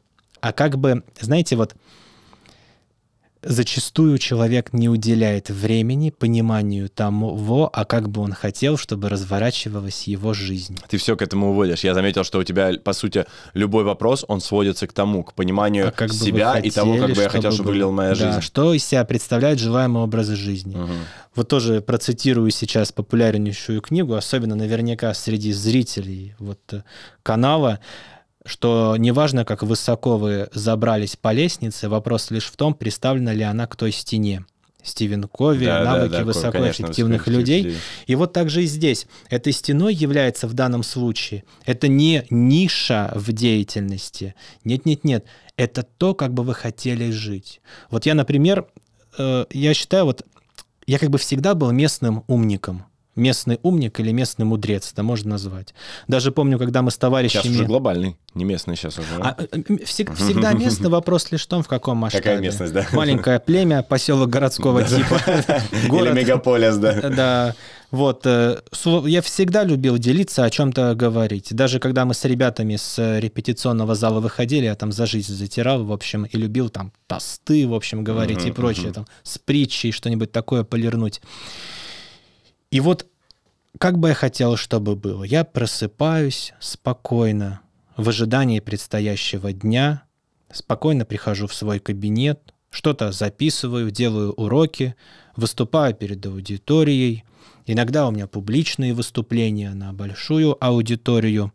Я иногда пишу книги. Мне всегда хотелось заниматься интеллектуальной деятельностью с точки зрения вот это мудрствования, так сказать. Еще, а хотя у меня за плечами большой опыт и физической работы, и официантом, и промоутером, и на птицефабрике Синявинской, даже помню, лютовал, у меня оттуда химический ожог остался, в общем, как воспоминание. Ну так вот, это был прекрасный опыт, что не поднимать тяжелее ручки, заниматься любимым делом, интеллектуальным и творческим. И я прямо с детства выращиваю эту мысль. И сейчас, записывая с тобой этот выпуск здесь, в этом прекрасном городе, у меня два любимых города э, в России. Ну, Россия любимая страна, потому что я тот еще турист. Ну, я как бы, я просто очень домосед. Я очень Ага. домосед до мозга костей. Ага. Вообще. Санкт-Петербург и Москва, я считаю, вообще это лучшие места в мире. Ну так вот, я к чему? Что я в Санкт-Петербурге или в Москве спокойно занимаюсь любимым делом, записываю уроки. Э, Меня окружают любимые, дорогие мне люди, люди, для которых я могу быть полезным. То есть вот это понимание желаемого будущего, и оно пусть будет сформулировано в первом лице в настоящем времени. Следующее упражнение может быть полезно. Прямо сформулировать. Я просыпаюсь в такое-то время, вот это чувствую, об этом думаю, вот это вспоминаю, вот это вижу, вот это слышу. Да, какие люди вас окружают с точки зрения вашей личной жизни, профессиональной деятельности, с точки зрения вашего капитала, тоже это важный момент надо отразить. Вы можете не знать в деталях. Я, кстати, вот не знал, чем я конкретно буду заниматься с точки зрения этого мудрствования. А потом я стал открывать для себя Эрика Берна, Милтона, Эриксона, выдающиеся ученые, которых я зачастую изучаю и цитирую во многом, на базе которых я и строю свое понимание, как обстоят дела. Оно не является там аксиомой, а как лишь совокупность точек зрения. Вот это понимание желаемого образа жизни является самым главным. Уже вокруг этого, если есть этот желаемый образ жизни, какие ценности для вас важны? Вот сегодня прозвучала ответственность как ценность, смирение, да, там, здоровье, сегодня у нас звучала забота о нем, контроль над эмоциями, внимание к слову. Да? Какие каждым моим действием я свои ценности разрушаю или укрепляю? И вот когда это все сонаправлено между собой, у человека есть понимание желаемого образа жизни, ценности его вдохновляющие, и каждым своим действием он приближается к этому или отдаляется от этого, то тогда история, связанная вот с цикличностью и со строительством городов, это все становится тем, что укомплектовывается в эту генеральную линию и наполняет. А что, если это будет так? Эм, И тогда, итого хочу сделать вывод по поводу вот того, как эти убеждения условно отыскивать и каким образом их видоизменять. Тут вопрос не, не механики поиска убеждения, да, а создания вот этой вот картинки. То есть у тебя твои, твоя картина мира формируется из комплекса твоих убеждений на текущий момент да, жизни. Да. А, соответственно, а то, к чему ты хочешь прийти, оно сформирует новую картинку убеждений, да, комплекс вот этих вот. И, соответственно, понимая то, куда ты хочешь прийти, ты поймешь, какими принципами ты должен руководствоваться, и это и станет твоей, то, что ты называешь генеральной линией, да, то, через призму да. чего ты будешь приним, э, как бы пропускать все свои решения, идеи, э, действия и так далее. Правильно ли я тебя понял? Да. То есть, э, если муха бьется об стекло, у нее задача не продолжать биться об стекло и думать, почему я бьюсь об стекло, а хотя бы представить на мгновение, а что это за прекрасный сад, или в ее случае, там, может быть, э, у нее же свои вкусовые предпочтения, где бы она хотела летать. И еще важный момент. Тут герменевтический круг никто не отметил. Мы познаем общее через частное, частное через общее. То есть ты, второй раз прочитавший ту же самую книгу, видишь там иное, потому что ты уже не тот, каким ты был, 100%. ее читавший впервые. Да. Вот это герменевтический круг. И также вот это понимание желаемого образа жизни. Можно, например, один раз в месяц уделять один час времени, чтобы для себя самого его сформулировать, и вы заметите, что от месяца к месяцу у вас будут формулировки точнее и в большей степени с вами созвучными. Человек по умолчанию вскрытая консервная банка, в которую идет содержимое из каждого утюга, которое обучают его тому, что он должен хотеть такую-то машину, такую-то одежку, такую-то вот это, такие-то фотки в социальных сетях. То есть в него загружают его систему желаний. А тут есть... И сначала они будут звучать. Сначала там будут то, чем человек пропитан. Угу. А потом плавно уже может быть там редакция 11, 12, он уже подумает, надо же, я начинаю конструировать свою индивидуальную программу жизни а их три. Вот есть биологическое, социальное, индивидуальное. Биологическое, там, родить детей до 25, а потом требовать внуков. Социальное — это тачка должна быть дороже, как правило. Ну, первая и вторая, как правило, без индивидуальной. Какая у вас миссия, смысл вашей жизни, Не какой вклад. Да. Они, они неизбежны как ступени роста, да. но они могут привести к печали потом, что не, чего-то не хватает. Да, да. А так и ты биологическая сделал, нужна. А ощущение от того, что ты куда-то продвинулся, нету. Да. нужна, и индивидуальная, да. да. Какой смысл строить? Здесь, кстати, тоже вот упражнение в тему. Можно, знаете, как неоконченные предложения заполнить. Вот вы такой-то человек, занимаетесь такой-то деятельностью для таких-то людей, помогаете им решать такую-то проблему, даете им такое-то преимущество – это возможно благодаря такой-то вашей суперсиле. Среди выполненных работ у вас в портфолио такие-то. Вас вдохновляет вот это-то. И вот так-то вы меняете жизнь к лучшему, например, да? И вот регулярно вот 9 э, вот этих пунктов переменных, посвящая времени, время на них отвечая, человек начинает понимать, что вот э, конструировать свой смысл изнутри – а вот вопрос о смысле жизни — это не то, что я у жизни спрашиваю, а мне жизнь постоянно спрашивает, какой у тебя смысл. И вот также здесь. Желаемый образ жизни сначала, потом плавно какую ценность создаю, вокруг каких э, конструирую свою жизнь. И тогда в это все вписываются история э, с убеждениями, позитивными соответствующими. Но важный момент — не требовать от себя сразу идеальной редакции с первого раза. Это процесс. Не могу не спросить. А, вот смотри, из твоей истории я слышу, что ты там с раннего детства хотел вот такую деятельность, ну, схожую деятельность. И творческая, да. да, и где ты можешь проявляться, и где ты можешь говорить, и где ты можешь обучать, и так далее, так далее, так далее. Вот э, я, одна из причин, почему я там пару лет назад начал делать этот подкаст, потому что у меня появилось много экзистенциальных вопросов, которые я решил задавать не только себе, а спрашивать у других людей, что они думают по этому поводу. И, собственно, благодаря этому это вылилось, да, из вот этого живого интереса. Но э, я вот сейчас параллельно провожу, параллельно с собой пытаюсь представить, да, я занимаюсь этим, я занимаюсь рефлексией, я думаю много об этом, но я чувствую, что у меня пока что нету однозначного ответа. То есть я могу от месяца к месяцу подвергать сомнению то, что я написал в прошлом месяце. И у меня вот этот жизненный вектор, он пока что не, я не могу сказать, вот так-то, так-то, так-то, четко, да, и я пока что в поиске нахожусь. Но к чему мой вопрос? А, Одна из причин, почему я начал заниматься коммерческой деятельностью в, там, еще в юном возрасте, потому что я просто денег хотел заработать.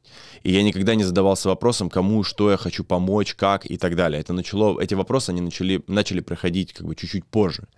И очень часто бывает такое, я точно знаю, что предприниматели, они хотят, они из бедных семей, например, да, они хотели дорваться, они хотели денег, и они дорвались. А потом они задают вопрос, а вот что я хочу на самом деле? Они задают себе этот вопрос, а там пустота, вообще ничего тишина. И это вызывает не очень правильные эмоции. Ты знаешь, ты думаешь, ё, как бы и, и что дальше-то вообще, да? И происходит зачастую как раз этот экзистенциальный кризис. Кстати, у предпринимателя он зачастую происходит раньше, чем у, э, у других людей, потому что они чуть раньше добиваются каких-то вещей, чуть, ну, они так, знаешь, быстрее делают, вот. И что делать человеку, у которого пустота? Вот он задает себе вопрос, который ты только что, да, транслируешь, а у него там пусто, и он не знает, каким образом искать. Вот, кстати, я даже отжал два своих пальца. У тебя в самом начале да. такие два важных смысла прозвучали, чтобы точно их прокомментировать, они крайне важны. Это нормально, что ты можешь не совсем быть согласным с тем, что ты написал год назад, потому что ты сейчас другой. Угу. Но сам процесс написания, он же с тобой созвучен. То есть здесь само содержание может быть вторичным. Я, например, в отношении там своих э, материалов могу открыть то, что я сделал два года назад, и понимаю, ну я бы сейчас что-то там поменял. То, что я говорил там, рубил с плеча, я уже сейчас мягче стал. Угу. И это абсолютно нормально. Мы меняемся. Человек, даже камень, вода, которая течет, человек тем более течет, будучи брызгами, в данном случае здесь. Но сам процесс написания, вот что является ключевым. То есть формы ключевые, а содержание, оно неизбежно будет наполнять эти формы, оно уже вторично. Далее. А наш друг, который, чего я это хочу, особенно, да. кстати, этот момент наступает, когда человек раньше хотел, но не мог себе этого позволить. А сейчас он может себе это позволить, но уже и не хочет. Ты просто в точку сейчас бьешь. Так оно есть. Когда тебе 16, 17, 18, ты горишь идеями, но ты не можешь себе ничего из этого позволить. А потом проходит 10 лет, ты все это можешь позволить, но тебя ничего из этого уже не интересует. это, это прямо зарисовка в тему. Человек Абсолютно. смог себе купить очень мощный игровой компьютер, а ни во что играть не хочется. Так и есть, это Хотя же вот так оно и есть. 10 назад слюни текли. Вот Абсолютно верно. Установить Quake 3 арена. Ну так вот, э, и также здесь. Это абсолютно нормально в данном случае. Просто можно чуть почаще поразмышлять, а как бы я хотел, чтобы было, и поэкспериментировать, посмотреть. А вообще такое наполнение э, жизнью дает э, смысл и понимание моего участия. Под моего я использую вот местоимение первого лица. Я имею в виду отдельно взятого человека. Здесь не то, что я такой там, а понимание отдельно взятым человеком того участия, которое он принимает в жизни других людей. У меня э, товарищ близкий есть, Станислав. Станислав, большой привет. Ну так вот, у него такая зарисовка была. Он говорил, что человек не умер или там погиб. Он говорит, э, что его инопланетяне украли. И вот мне это так запомнилось. Мы в кабинете длительное время сидели, работали вместе. У него такая юмореска. Ну, если инопланетяне украдут. Вот таким э, голосом. И также здесь, э, знаете, я вот регулярно об этом думаю. Если меня инопланетяне украдут прямо сейчас, и вот у меня есть последнее мгновение, я спокойно уйду. Я делал лучшее, на что был способен в течение отведенного мне срока и времени. Когда я говорю про отведенный мне срок и время, так предполагается, что есть какая-то сила, которая отводит людям срок и время. Мы все-таки с вами находимся в измерении причинно обоснованном, да, можем детерминировать. Это волшебник Альберто иногда включается. Это лишь метафора, красивая к слову. Ну так вот, сделал ли я все, на что я способен? Действительно ли я доволен этим пройденным путем? Вот э, в радости в удовольствии я каждым своим уроком про вот ответственность, про тренировку желаемого состояния, про понимание, как бы вы хотели, чтобы было, про внимание к манипулятивному воздействию, про то, как разрешить себе делать известными свои чувства и желания и просить. Я скажу инопланетянам, я готов, все в порядке.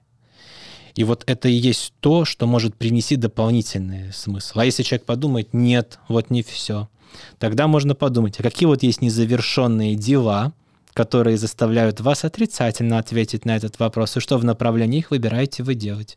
Ну вот этому деньги в долг надо отдать, перед этим извиниться необходимо, тут надо родителей навестить, тут надо тете позвонить, с днем рождения поздравить, тут надо вот этих поддержать, были обещания какие-то. И вот делать работа над незавершенными делами, и вот э, раз это экзистенциальную тему подняли, вот метафора с инопланетянами, это может быть очень большим источником силы. Как э, мне в свое время, я не помню откуда это, но я помню, что меня так, знаешь, немножко отрезвило и э, помогло, и даже как-то я периодически стал использовать эту историю. Есть такая техника, когда представьте, что вы умерли, и есть три категории людей, которые э, будут говорить на ваших похоронах, что бы вы хотели, чтобы они про вас сказали. Это э, ваша семья, ваши друзья и ваши коллеги. И вот э, каждый из них, что, что бы вы хотели, чтобы, чтобы они про вас сказали. И э, эта вот история, ты начинаешь, жутковатая такая история на самом деле, но тем не менее, если ты просто так задумаешься, а что бы я вот действительно хотел, чтобы про меня сказали? Я не знаю, там жена, дети, друзья, те, кто со мной работают. И вот это вот очень интересная такая, знаешь, э, э, он там был самым ярким, там каким-то... Нет, это вообще все не имеет смысла, mm-hmm. и, ты, и ты начинаешь думать про какие-то более глубинные смыслы, которые в действительности тебя наполняют. Опять же, сложно это удерживать в голове, потому что ты потом попадаешь в реальность, ты попадаешь в свои бытовые проблемы, и все это укатывается. Но, наверное, как такая, как техника, ну, мне, по крайней мере, в свое время помогла. Иногда так вспоминаю, особенно как летишь, самолет тряханет конкретно, и такой, так, что бы я хочу, чтобы про меня сказали? Сразу приходишь в чувство, и появляется какой-то смысл. Да, может э, вдохновить на новые свершения и поменять отношение мухи к этому стеклу и дать ей возможность немножко отлететь назад, если вот к той метафоре вернуться. Да, подводя итог э, предпринимательского блока, на самом деле э, я хотел позадавать, знаешь, какие-то вопросы еще другие, но я вот чувствую, что это такая завершенная тема, потому что мне ключевая идея, которую я не хочу размыть, что идея как раз про понимание того, куда ты хочешь прийти, как ты хочешь, чтобы выглядела твоя жизнь. И именно исходя из этого уже строится все остальное. И те решения, которые ты принимаешь, бизнесы, которые ты запускаешь и так далее. Да, и обязательно в динамике, не в статике. Да, Потому безусловно. что может э, мысль возник, возникнуть такая, а, я не знаю, я не знаю. Позвольте себе роскошь даже написать «я не знаю». Хотя бы представить. То есть это процесс в первую очередь, а капля долбит не только камень своим постоянством, поэтому это процесс. По поводу «я не знаю», даже интересная история, я вот сейчас уже в общении с тобой начинаю подлавливать такие моменты, что пишешь э, «я не знаю», и ты такой «так, а как узнать?» Что я должен сделать, чтобы узнать? Что я должен сделать, чтобы найти? А пишешь «ничего не хочу» — точка. Mm.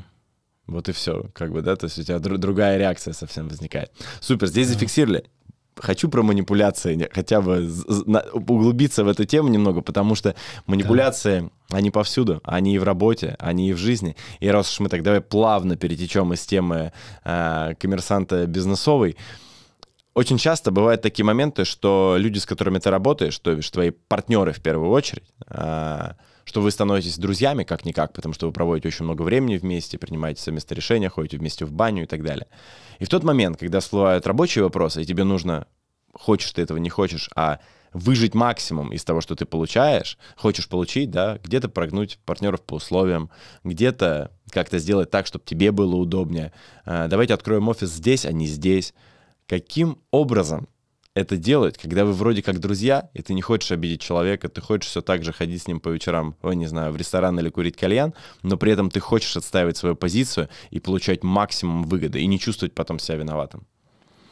С точки зрения, например, речевого приема, э, разреши, у нас же подкаст, давай, мы давай. вместе размышляем. По... Мне как-то позвонил, это тоже в тему, я буду mm-hmm, историями давай. отвечать на вопрос. Мне как-то позвонил папа моего близкого друга, значит, э, Андрей Вячеславович, большой вам привет недавно совершенно, ну, примерно там два года назад, это недавно, в общем. Альберт, я же помню, что ты сайтами занимаешься. Я сайтами не занимаюсь уже 6 лет. Я помню, ты сайтами занимаешься. Здесь мне нужно сайт, в общем, сделать. Подскажешь, что, куда и кому. Есть некое очарование, потому что это папа моего близкого товарища, mm-hmm. который видел, не как отказать. мы росли. Да, не отказать, да. да.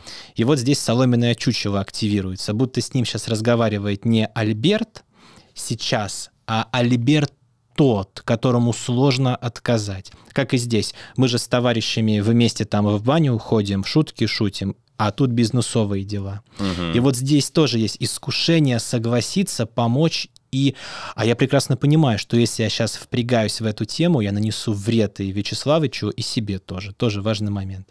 Я говорю, Андрей Вячеславович, спасибо, что мне позвонили. Смотрите, я сейчас, разрешите, отвечу вам не как товарищ вашего сына, а как Альберт, который сейчас специалист вот в этом и имеет опыт вот в этом.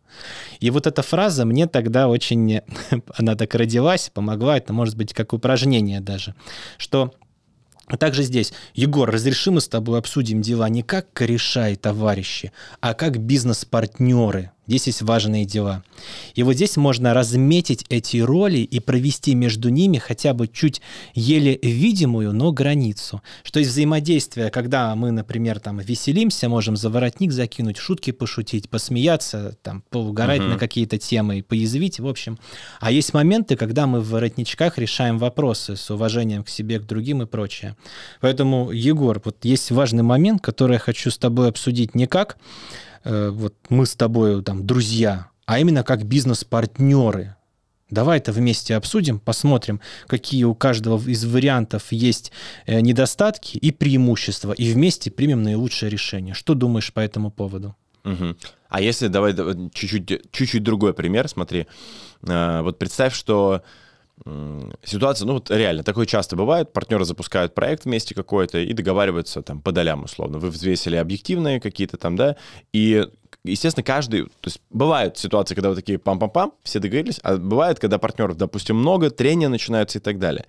И как бы там нету объективного. То есть ты не можешь математически это оценить, да? А здесь есть вопрос ощущений каких-то таких, что вот я хочу больше, и ты хочешь больше. И тут побеждает как будто бы тот, кто духом сильнее и там энергетикой, да, один другого задавливает. А потом у тебя такое ощущение, ты вроде бы, ты сделал то, что ты должен был сделать, ты не сделал ничего несправедливого, да, не как бы в его глазах, конечно, это несправедливо, но в твоей картине мира это абсолютно справедливо. И потом тебя гнетет такое чувство того, что ты виноват. Хотя в реальности ты не виноват, ты просто угу. оказался чуть сильнее в данном конкретном случае. Это бизнес.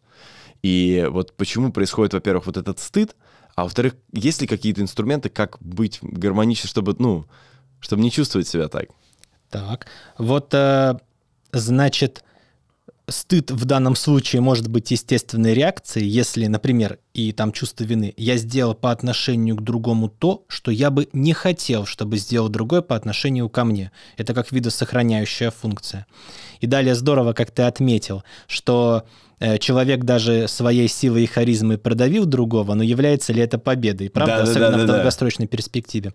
Поэтому обязательно должны быть такие ритуалы, я слово ритуал использую, в общем, времяпрепровождения должны быть, когда мы обсуждаем нашу работу не в, а над давай вместе обсудим итоги проделанной работы, какие задачи мы можем поставить на будущий период, и есть ли у каждого из нас пожелания, что бы мы хотели привнести во наше взаимодействие и убрать.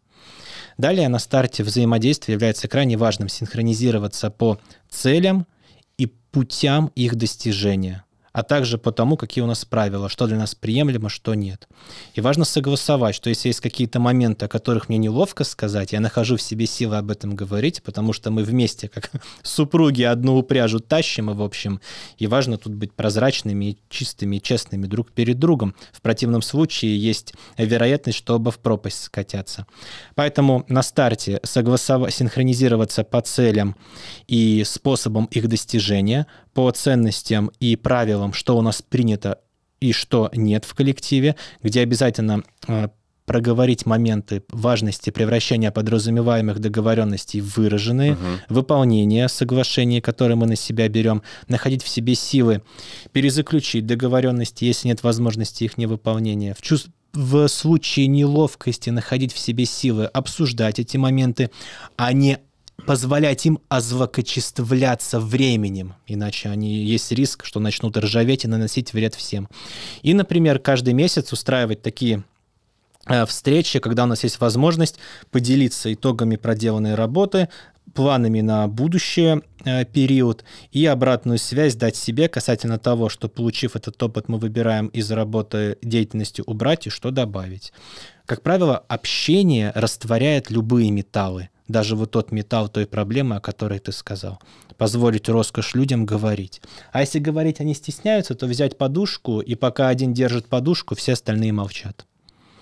Говорите в общем. По поводу разговора, кстати, э, ну и вообще вот э, то, что сказал, стыд, разговор и так далее. Здесь такой своим опытом немного поделюсь, что в целом, да, разговор решает, а если ты видишь, что на дистанции это все равно как бы проблема, она фонит, фонит, фонит, фонит, то зачастую бывает так, что вы играете в разные игры. То бишь, э, вы вроде партнеры, вы вроде договорились, но ваши цели не едины, вы преследуете разные цели. И вот тогда нету как будто баланса, знаешь, тогда не договоренности. То есть на моем веку, на моем опыте, сколько бы у меня не было партнерств, я замечал, что вот эти вот все трения, если вы играете в одну игру, и у вас реально одна цель, к которой вы идете, то это все очень быстро уходит, растворяется. Да, вы можете один день поругаться, поцапаться, потом вас объединяет эта цель, и вы уже работаете на нее. Но если вот эта вот игра в две разные, которые идут параллельно, вы думаете, вы даже говорите, что вы играете в одну, но на самом деле вы преследуете разные цели, то вот эта штука начинает фонить, и она никуда не уходит. И это, скорее всего, партнерство рано или поздно развалится, если вы что-то в корне не поменяете. Точно. Я приглашаю вас не сражаться друг с другом, а вместе сражаться с тем, что мешает нам больше зарабатывать и наслаждаться жизнью. Ну как да, но здесь нужно смотрите? принять факт, что это не всегда удается. То есть это реально да. вот такое бывает, что если не, не удается создать одну игру, а вы играете в две параллельные, то это заведомо проигрышная стратегия, которая порождает не коллаборацию объединения, а конкуренцию разрушения в данном конкретном случае. Когда вы разрушаете друг друга, а не создаете что-то, не созидаете вместе. Да, здесь уже взвешивать вред и пользу от каждого своего ну, да. шага. Тут, тут да. безусловно. Раз уж что ты упомянул семью, туда, давай, давай туда окунемся немного. И, и вот семья, и так как мы стыд, неудобство, что-то, дискомфорт. А, очень часто бывает в семье, когда ты что-то хочешь сказать, ты чего-то хочешь, у тебя есть какие-то желания, какие-то запросы, потребности, не, не знаю, неважно. В том, как проводить время, в том, куда полететь, в том, как заниматься сексом и так далее. И ты боишься сказать, дабы не обидеть человека, потому что ты заботишься об этом человеке, и вроде бы ты ничего такого не... Но у тебя есть вот эта внутренняя скованность, которая порождает проблемы, потому что ты не говоришь, а дальше, как ты сказал, она начинает обрастать, обрастать, обрастать, обрастать, и на дистанции как бы вылезает в проблему. Вот э, каким образом сделать так, чтобы то, что ты хочешь сказать, не как бы вырастало в проблему, чтобы ты мог говорить то, что ты хочешь, и почему бывает сложно это сделать, хотя, казалось бы, это самые близкие люди важный момент, то есть идет речь о нарушении коммуникативной функции семейной системы. Вот можно представить семейную ну, да. систему как наш организм. Да. И есть у нас э, системы в нашем организме. Пищеварительная, дыхательная, э, выделительная.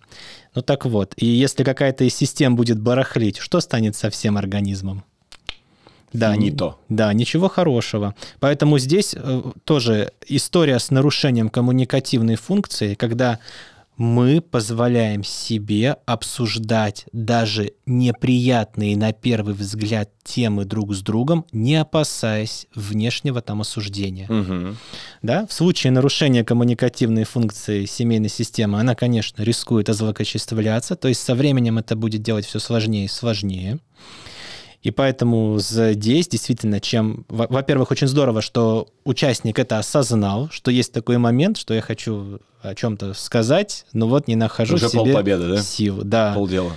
Да, это, это действительно очень важный момент, да.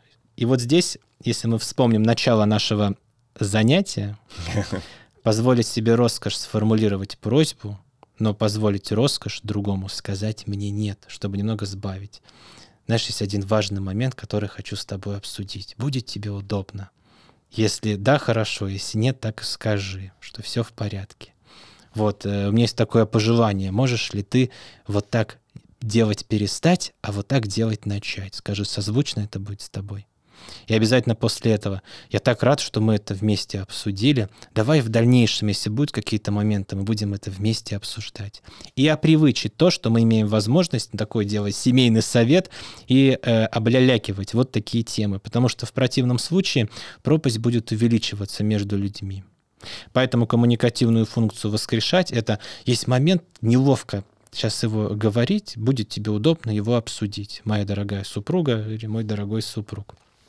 У меня есть такое вот пожелание. Будет ли удобно делать так? А там же сами просьбы могут быть вообще бытовыми мелочами. Да, так это же, я же, это бывают какие-то просто банальные, казалось бы, вещи, и всегда откладываются, откладываются, откладываются, потом... Кажутся чем-то большим, да, и вот. И обязательно после этого, я так рад, что мы это обсудили, давай в дальнейшем возьмем за правило друг с другом обсуждать даже какие-то моменты, о которых это неловко говорить. А если у тебя по отношению ко мне такие моменты? Ой, здорово, что сейчас, да, есть, знаешь, вот когда вот это и вот это. Да, хорошо. Да, там Это касается вообще любых аспектов взаимодействия. Люди могут э, десятилетиями терпеть там сухость, например, которая натирает, и не находить в себе силы там привнести какие-то Да. детали. Ну так вот, да. Э, Два, э, два тезиса, два пункта. Первый в начале истории из э, реальной жизни. Э, Семь лет назад, когда мы с женой только познакомились, и мы там первый месяц мы полетели в Испанию, и я мы были там в компании, в общем, и все там куда-то шли там куда-то в ресторан, или я уже не помню конкретных деталей, но суть в том, что что-то там не складывалось, и жена моя расстроилась, что-то там, то ли, то ли у нас не получилось пойти, то ли еще что-то, она расстроилась. Я говорю, а что ты расстроился? Он говорит, блин, мы только познакомились, я так переживала, что ты, типа, вот, ну, расстроишься, что-нибудь. И- А я ей говорю, да я сам не хотел идти. И в итоге, то есть, понимаешь, да, сам факт, что она там расстроилась из-за того, что она, она переживала, что я расстроен, а я сам не хотел идти. И то есть случился тот факт, что мы там это проговорили, но если бы нет, то это, по сути же, такое напряжение, которое создается. Интересно. Но я вот хочу уточняющий вопрос задать. Бывают такие моменты, когда ты хочешь сказать о чем-то, где ты не хочешь получить ответ «нет», где ты не, как бы, это может быть какая-то супер важная или супер принципиальная вещь. То есть своей позиции я разрешаю сказать мне, а не, не нет. А это, а это на самом, ну, в данном случае это нет. Это такая микроуловка, чтобы самому говорящему стало легче сказать. То есть он, э, выпаивая в свою речь это разрешение другому сказать мне нет, Манипуляция. Над самим собой, чтобы позволить себе роскошь не замалчивать, а вслух. Что, например, если нет, то все в порядке, то в таком случае я себе немножко развязываю руки и делаю себе э, полегче возможность сделать известной свою просьбу. Это может быть сначала на маленьких каких-то Да. деталях, а если там что-то это, то действительно есть очень важный момент, давай это обсудим, насколько это с тобой созвучно. Да, прийти к решению. Знаешь, вот это вот нет, говоришь, «Е- если нет, ты так и скажи. И ты ставишь уже человека в позицию такую не очень удобно, когда он не хочет сказать нет, и ему неудобно. Манипуляция. опять Да, двойная- разрешить двойная. равно запретить. Да. Да, да. И, и тем не менее, она немножко позволяет не делать ни себя, ни другого соломенным чучелом. Это такая позитивная история. Да, согласен. Давай еще немножко про вот э, такие манипуляции. Наверное, классические. Это, кстати, классические, это я опросы делал. А, Есть две позиции. Первое, мужчина, раз уж мы предприниматели, предприниматели говорим, да и не только, наверное, предприниматели, работает 18 часов в день. И, естественно, времени на то, чтобы проводить там время с женщиной, с семьей, у него мало.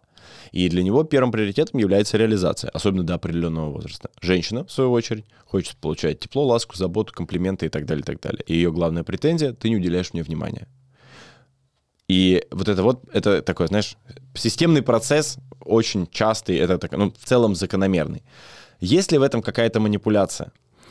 Вот э, здесь, в эту тему, как правило, то, что нам очень нравится в другом человеке, потом становится предметом конфликта. Ведь Нет, наверняка как, есть- какой-то мем, где на мотоцикле с сигаретой и так далее, пот- э, потом, это, когда только познакомились, потом, так, перестань курить, пересядь на машину и так далее. Ой, ты уже не тот, кого я полюбила. Да. И также здесь можно предположить, что этот молодой человек такой э, властно, авторитетно, целеустремленный, Богатый. да, обеспеченный и прочее, Да. что так заводило на старте взаимоотношений. А потом, обратная сторона. а потом, да, вот это обратная сторона. Во-первых, уже само понимание этого уже может немножко сгладить. Действительно, а я же и полюбила этого человека за то, что сейчас меня раздражает.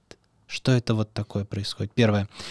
И второй момент, все-таки я требую от себя необходимости в подкасте в том числе, это делать известными приемы с практической точки зрения, которые могут быть полезны для разрешения конфликтных ситуаций, говорить другому не итог своих размышлений, а процесс своих размышлений. Ты знаешь, дорогой, я тут подумала вот это, почувствовала вот это и планирую вот это. А вот что ты думаешь по этому поводу? Не то, что ты, козел, уделяешь мне мало времени, или наоборот. Здесь повод абсолютно вторичен, ситуация типовая. Здесь все что угодно может быть предметом. А то, что я вот э, пришла домой, вспомнила, как мы с тобой э, согласовали, что в 6 часов вечера собираемся вместе. Ну, допустим, да, Мгм. вот он написал за 5 минут до этого, что будет в 9. Ну, вдруг и такое может быть. И вот я сейчас э, такая вся красивая в платьишке своем, смотрю в отражение зеркала и думаю, что мне бы и Кейт Уинслет позавидовала. И даже не знаю, что мне делать. Такой, подскажи, как бы ты поступил на моем месте. И вот зачастую вот этот э, прием, он можно назвать его манипуляцией, когда я, я думаю, и можно, и нельзя тоже. То есть посвящать человека не в итог своих решений, а в размышления, которые предшествуют этому решению, чтобы пригласить его на мое место. Может, он действительно подумает, да, можно сделать не 18, а 16 в день, и мне так будет хорошо, я буду больше отдыхать. А супруга тут подумает, да, все-таки ведь какой вот он молодец, нас защищает, обеспечивает, работает над благополучием и внешними границами семейной системы. Очень здорово. Это вот... э, То есть два момента. Да, да, и знаешь, так, из того, что я слышу, можно назвать такие... Манипуляция, она так или иначе там и там, и там, и какая-то есть, но есть вот то, что ведет к токсичному разрешению вопроса, Да, а есть к какому-то здравому, да, то есть ты нем- немножко в другое русло как будто разворачиваешь эту модель. То есть Да. она так или иначе, как бы любой конфликт это все равно так манипу- частично манипуляция, да, или не конфликт, вопрос сложный, а тут ты просто разворачиваешь в другое русло, по сути, находишь Да. решение. И вот, кстати, к этой истории сейчас прям искрится вот у нас особенность общения в том, что в каждый момент времени пульсируют эпизоды разные из общения, где эти два товарища, они и друзья, и еще бизнес-партнеры. Вот тот, который чувствует некую вину и стыд перед своим коллегой, он может посвящать коллегу не в итог решения, а в процесс. Знаешь, я тут вспомнил, как мы с тобой год назад обсуждали такие-то моменты, и потом пришли к таким-то выводам, а сейчас я думаю вот об этом, и это последние три недели меня вот гложет в течение дня. Давай это вместе обсудим, какой у тебя взгляд на это, помнишь ли ты это, есть ли у тебя какие-то вопросы, или, может, я что-то домысливаю. Вот этот прием посвящать, вот если представить вот это как линию времени, где крышка — это решение, к которому человек пришел, а это процесс, который этому решению предшествовал, вовлекать моего дорогого собеседника не в крышку, а в процесс, что давай вместе это Мгм. обсудим, да, вот здесь. Это может быть полезным. Это, по сути, как, э, знаешь, с командой, например. Если ты приходишь к сотруднику и говоришь, делай вот так, сделай так, то, скорее всего, он не поймет и не сделает так качественно. Если ты ему продаешь, да, ну, продаешь хорошую Продаешь, смысле, да, идею продаешь идею. того, зачем, почему это нужно ему, тебе, компании и всем в целом, то он Да. с гораздо большим интересом и пониманием того, зачем его вообще работа нужна и почему она ценится, делает это. И наоборот, Да. когда ты человек говоришь, так, вот эти бумажки, ты их делай, и он вообще не понимает, на кого это влияет, на чью это жизнь влияет, это только доставляет ему дискомфорт, у него нет вообще желания этим заниматься. Да, точно. Человек очень ценит те идеи, к которым он пришел сам. Да. Да. а теперь давай еще вот другую манипуляцию, тоже интересную. А, про внимание разобрали, я понял. А, ситуации семейные часто вокруг денег крутятся, да, например, а, там, я не знаю, женщина говорит, дай мне больше денег, а мужчина говорит, давай вот, вот смотри, у нас это семья, представим семью, да, не, не, не только познакомились, где там эмоции, там вот это вот все происходит, где как раз, я так понимаю, происходит э, нестыковка, потому что границы никто не соблюдает, никто свои не знает, потому что вот эта романтика, все дела, все для всех, а потом реальность наступает. Девушка говорит, ты даешь мало денег, а мужчина говорит, а давай я тебе вот, вот мы определим бюджет семейный, и ты, например, будешь вот, вот, вот я, мы столько выделяем, например, семейный бюджет, и ты тратишь. Он говорит, нет, не хочу, ты меня не любишь, ты обо мне не заботишься, вот типа раз ты мне ставишь какие-то условия ограничения. Ваши действия. Видимо, они говорят о чем-то еще в этот момент времени, но не только о деньгах. Вообще, такое явление, как деньги в семье, это о чем угодно зачастую, но, Но не не, о деньгах. о деньгах. Это, Слушай, а хорошая мысль. это о признании, о любви, о заботе. И, то есть это такое коммуникативное средство, которое говорит о многом еще чем-то. Это М. во-вторых. И, во-первых, какой важный момент? Но ведь у этой пары же был добрачный период жизненного цикла семьи, например, Мгм. где идет э, задача это организовать социум вдвоем, научиться согласовывать, вводить договоренности, о чем-то разговаривать. Они же оказались вместе не из сферического коня в вакууме, у них есть за плечами опыт взаимодействия. То есть, судя по всему, сейчас словно не о деньгах речь, а как э, деньги это как возможность обратить на себя внимание как повод для ссоры, для которой, кстати, повод абсолютно вторичен. Да? А так, тут тоже к вопросу коммуникативной функции. Действительно, очень важно, что ты сейчас об этом говоришь. Мгм. Да? Давай вместе этот момент обсудим. Это ты интересный, кстати, момент подсветил, что, по сути, это просто и для одного участника, и для второго это какую-то функцию может выполнять. Для девушки, например, способ привлечь к себе внимание, для мужчины тоже, в свою очередь, почувствовать себя важным. Да, меня о чем-то просят, да, показали, что я, я нужен тут. То есть и так вот в два, в два конца это все играет и работает, по сути. Да, потому что, может, тут и не о деньгах речь, да, что вот, например, понятно, мы сейчас контекст додумываем, э, э, дорогая, скажи, в чем дело на самом деле? Ага. Да, что если не о деньгах-то идет и речь. А если действительно такие же условия, предыдущее время, они выполнялись и абсолютно устраивали каждую из сторон, а потом раз какой-то щелчок, может быть, шепнули подруги на работе, как должно быть на самом деле, но это я так э, додумываю в качестве юморески, да, рассказывай, что на самом деле произошло. Если что-то да, что действительно имеет важное значение, что мы можем обсудить. То есть здесь деньги в данном случае сами как э, покупательная способность может быть лишь вершиной айсберга. Я всегда в данном случае бы предложил посмотреть, а с точки зрения взаимоотношений за этими деньгами, что стоит. А вот смотри, у тебя с точки зрения своих жизненных э, ориентиров есть такая вот идея, как когда генеральная линия, к которой ты, собственно, подтягиваешь все остальное. А в семейных отношениях есть какая-то такая история, за которую можно цепляться и вот как бы подтягивать себя для того, чтобы правильно, ну не то, что правильно, для, под себя как-то комфортно выстроить эти отношения организовать жизнь. Что является ориентиром, как бы здесь, на твой взгляд? Да, э, значит, э, тоже разрешите вернусь, я вот выше сказал про добрачный период жизненного цикла семьи.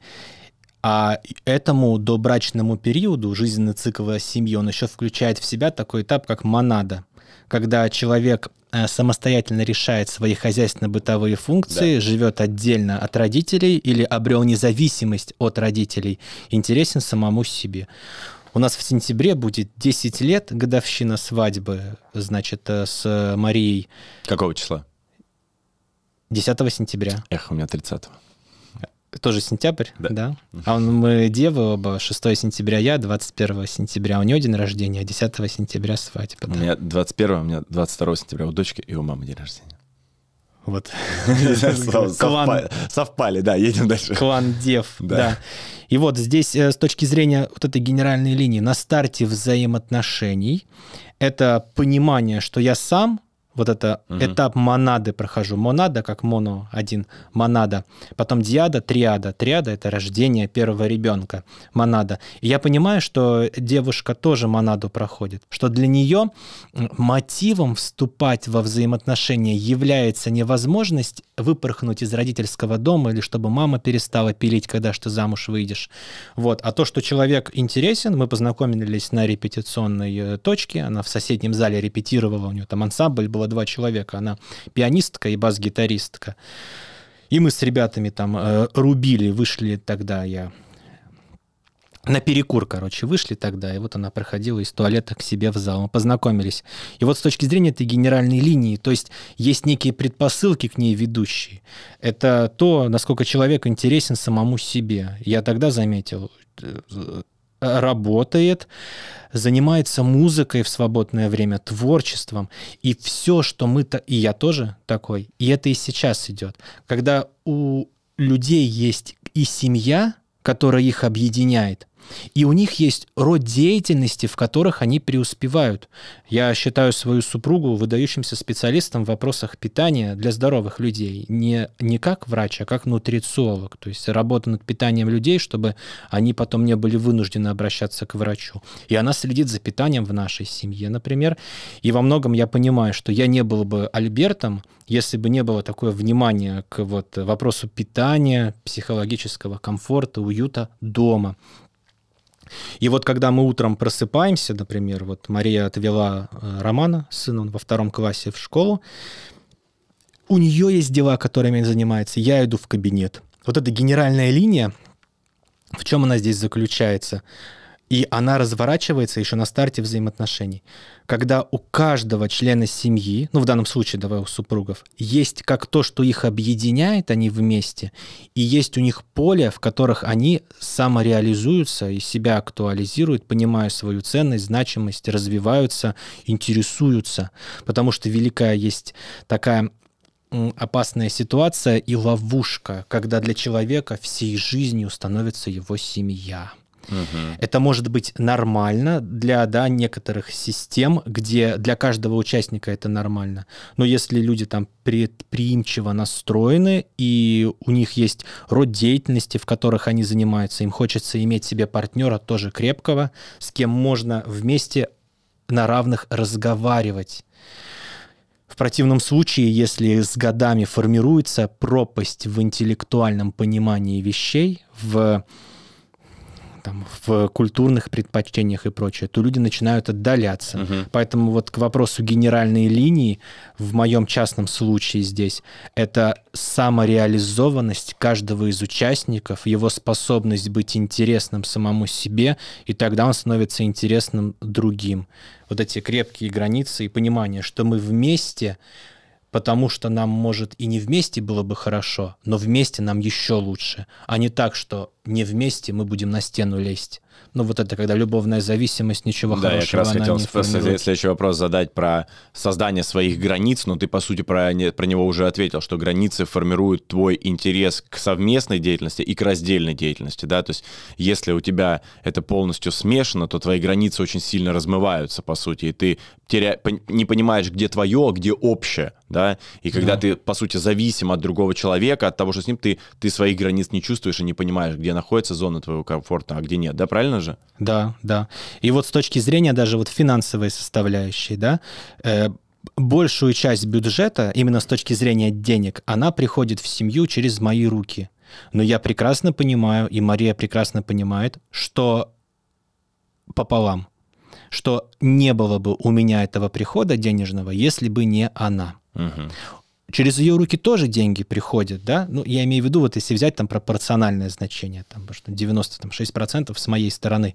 Но прекрасно я понимаю, что в результат семейной системы вносят все участники поровну.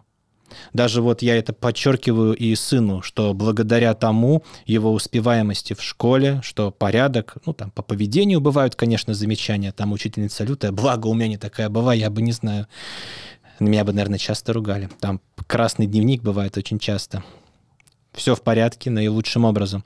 Ну так вот, что как утром он встает хорошо, делает уроки, порядок в школе, это то, как он вносит вклад в семью.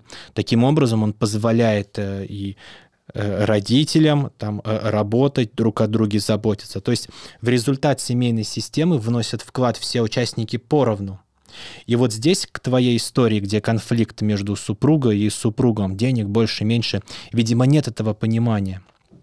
Потому что прекрасно понимаю, что если бы не вклад Марии, то не было бы такого Альберта. Это очень важный момент. Вообще, когда мы познакомились, я э, барменом работал, как бы алкаху наливал, в общем. ну так вот, и что только не делал тогда, в общем. И за ум взялся уже плавно, потом последовательно, за что очень благодарен и ценю. Поэтому вот здесь это важно понимать, генеральная линия — это результат семейной системы, это то, во что вносят вклад каждый из ее участников поровну. Нет такого, кто-то важнее, кто-то менее важен. Нет-нет-нет, все вносят вклад участники свой и поровну. И какие бы ресурсы семейная система не аккумулировала, каждый из ее участников на них претендует. Особенно, когда они вместе выросли.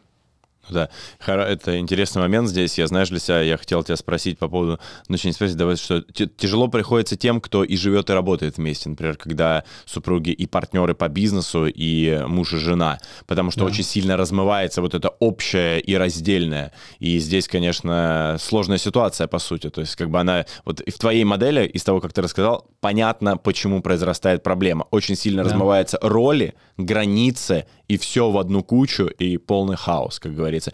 И здесь хочешь ты не хочешь, как бы ты, а не давай мы сейчас как супруги поговорим, а давай мы сейчас как партнер поговорим. Там ядерная бомба просто. Да, лучше использовать рычаг э, пространства. Я помню, когда начался карантин, вот три года назад начался карантин, я помню тот момент, конец марта, у нас даже бизнес-центр закрыли. Да, да, у да, нас да. нельзя было в бизнес-центр приехать. У сына двоюродные братья и сестры поехали к моим родителям, к бабушке с дедушкой, и Роман тоже к ним поехал, братья и сестры, и мы с Машенькой дома. Угу. У нас вот трехкомнатная квартира, и мы дома. И у нас было тоже время сосредоточено. Мы утром встаем, видимся мы утром, когда принимаем пищу. Потом мы расходимся по своим комнатам, занимаемся своими делами. Мы вообще не видимся. Мы встречаемся потом только на обеде, когда принимаем пищу. Потом прогуляемся вместе. Э, вот. Э, потом опять занимаемся своими делами. И на ужине уже потом отдыхаем. То есть даже вот оказавшись в одном пространстве, мы учли этот момент, чтобы не было бы каждого из нас друг для друга слишком много, что вот по комнатам распределились, занимаемся своими делами. Я тогда представил, что карантин будет идти 10 лет, в общем. Как нужно организовать жизнь, чтобы вытянуть, протянуть 10 лет, да? Да, и стал это регулярно записывать уроки, прям такой в режим вошел очень э, лютый тогда, и с радостью, с теплом его все-таки вспоминаю с точки зрения вот профессиональной деятельности. Поэтому это важный момент, чтобы не было такого детско-родительского слияния да. мать и дитя. Честно говоря, хочу тут плавно подвести итоги, потому что я уже сам такой, знаешь, у меня уже, я, я чувствую, что у меня мысли уже начинают закручиваться, и мне нужно обдумать и систематизировать их, знаешь, написать выводы. Какие, я, я, знаешь, я люблю подводить итог, делать выводы, которые я сделал, каждый сделает их сам, но вот что мне больше всего откликнулось и срезонировало, то, что, по сути, про что бы мы ни говорили, про свое развитие, про бизнес, про отношения, оно все идет из одного. Ты понимаешь себя, ты понимаешь свои сильные и слабые стороны, свои желания, какие-то цели, мечты. И исходя из этого, уже подтягиваешь свои решения, действия и мысли в том числе, да, то есть направляешь их куда-то. И если в бизнесе, например, ты имеешь как раз свою вот эту генеральную мыс- э, линию, и исходя из которой ты строишь свои убеждения, да, и свою картинку мира, а все инструменты, они являются уже вторичными скорее, да, первичным мысли твои какие-то идеи вторичны. То же самое здесь в семье, когда ты понимаешь, зачем тебе семья, зачем вы вместе собрались, и какой ты хочешь итог на дистанции получить, соответственно, ты подтягиваешь под это какие-то действия, решения, мысли, а, которые тебе нужны. Вот. И это, наверное, такой мой главный вывод. Э, есть над чем подумать, потому что я по себе точно знаю, что во многих аспектах я очень часто думаю из момента, а не из того, куда я хочу прийти. И это меня оттягивает только назад, потому что я мыслю текущей проблемой, а не будущим решением, а не будущей какой-то идеей. Вот. Э, наверняка еще много всего, но вот это мой такой главный э, вывод и главная идея, которая мне очень откликается, очень резонирует, за что тебе огромное спасибо принял с благодарностью Александр. Действительно, а что если факт настоящего предопределен видением будущего? Да, абсолютно. А, как ты оцениваешь нашу сегодняшнюю с тобой работу? Мы вначале обсудили, что должно получиться, что должно, чтобы произойти, чтобы получилось хорошо. Как оцениваешь? Ну и лучшим образом. Во-первых, я абсолютно не замечал, как проходит да, время я сам не заметил абсолютно. в потоке. Здесь дорогие коллеги сообщили, что мы пишем уже более двух часов. Ну, с радостью, это как победа. Я подумал, надо же, я даже и не заметил, как это так происходит. Э, каждый момент наполнен радостью от процесса. Я очень рад. Супер, я тоже рад. Спасибо. И большое. как я тебе сказал еще до начала подкаста, что э, иногда я планирую, куда я хочу повести разговор, а он идет в другую сторону. Сегодня отчасти так и было, и я всегда радуюсь таким моментам. Это значит, что разговор был интересен, э, интересным, живым и не, как бы не запланирован, не предопределенным, так что это очень здорово. Поэтому, дорогие мои, на самом деле у Альберта огромное количество бесплатных материалов. Вот Альберт мне книжку подарил, э, тут карточки интересные по, тоже мне подарил, и еще у тебя огромная библиотека бесплатных уроков тоже. У тебя же все бесплатное. Принял с благодарностью, да. Я, кстати, э, не настаивал на том, чтобы это... Я да, как это на поле инициатива. чудес да. с подарками приехал. По поводу книг, они в электронном формате в открытом доступе. На Ютубе у меня все уроки в онлайн-формате в открытом доступе. Смело можете изучать на ваше усмотрение, да. Да, дорогие мои, теперь самое главное, традиционно. Обязательно подпишитесь на канал, врубите колокольчик. Если вам было полезно, если вам понравилось, обязательно втыкайте лайк. Если не понравилось, не полезно, втыкайте дизлайк, но помните, что мы за вас запомним. Вот, это имейте в виду. Такая манипуляция у нас. А, и самое важное, самое-самое важное, это по традиции делиться в комментариях своими мыслями, идеями, выводами, которые вы сделали, какими-то мыслями, которые потенциально могут улучшить вашу жизнь, и читать, что пишут другие, обмениваться этими мыслями, потому что они зародят еще новые мысли, и это всегда очень круто в комментариях происходит, поэтому уделите пару минут такой рефлексии, возможно, как раз комментарии станут пространством, где вы можете выписать то, что вам понравилось, нам очень понравилось. Спасибо тебе большое. Ссылки на Альберта будут в описании, кстати, тоже не забудьте подписаться подписаться. Да, благодарю, Александр, уважаемая команда, уважаемые зрители. Приятно с вами взаимодействовать. Большой привет, спасибо, пока. Пока, дорогие мои, увидимся. Пока.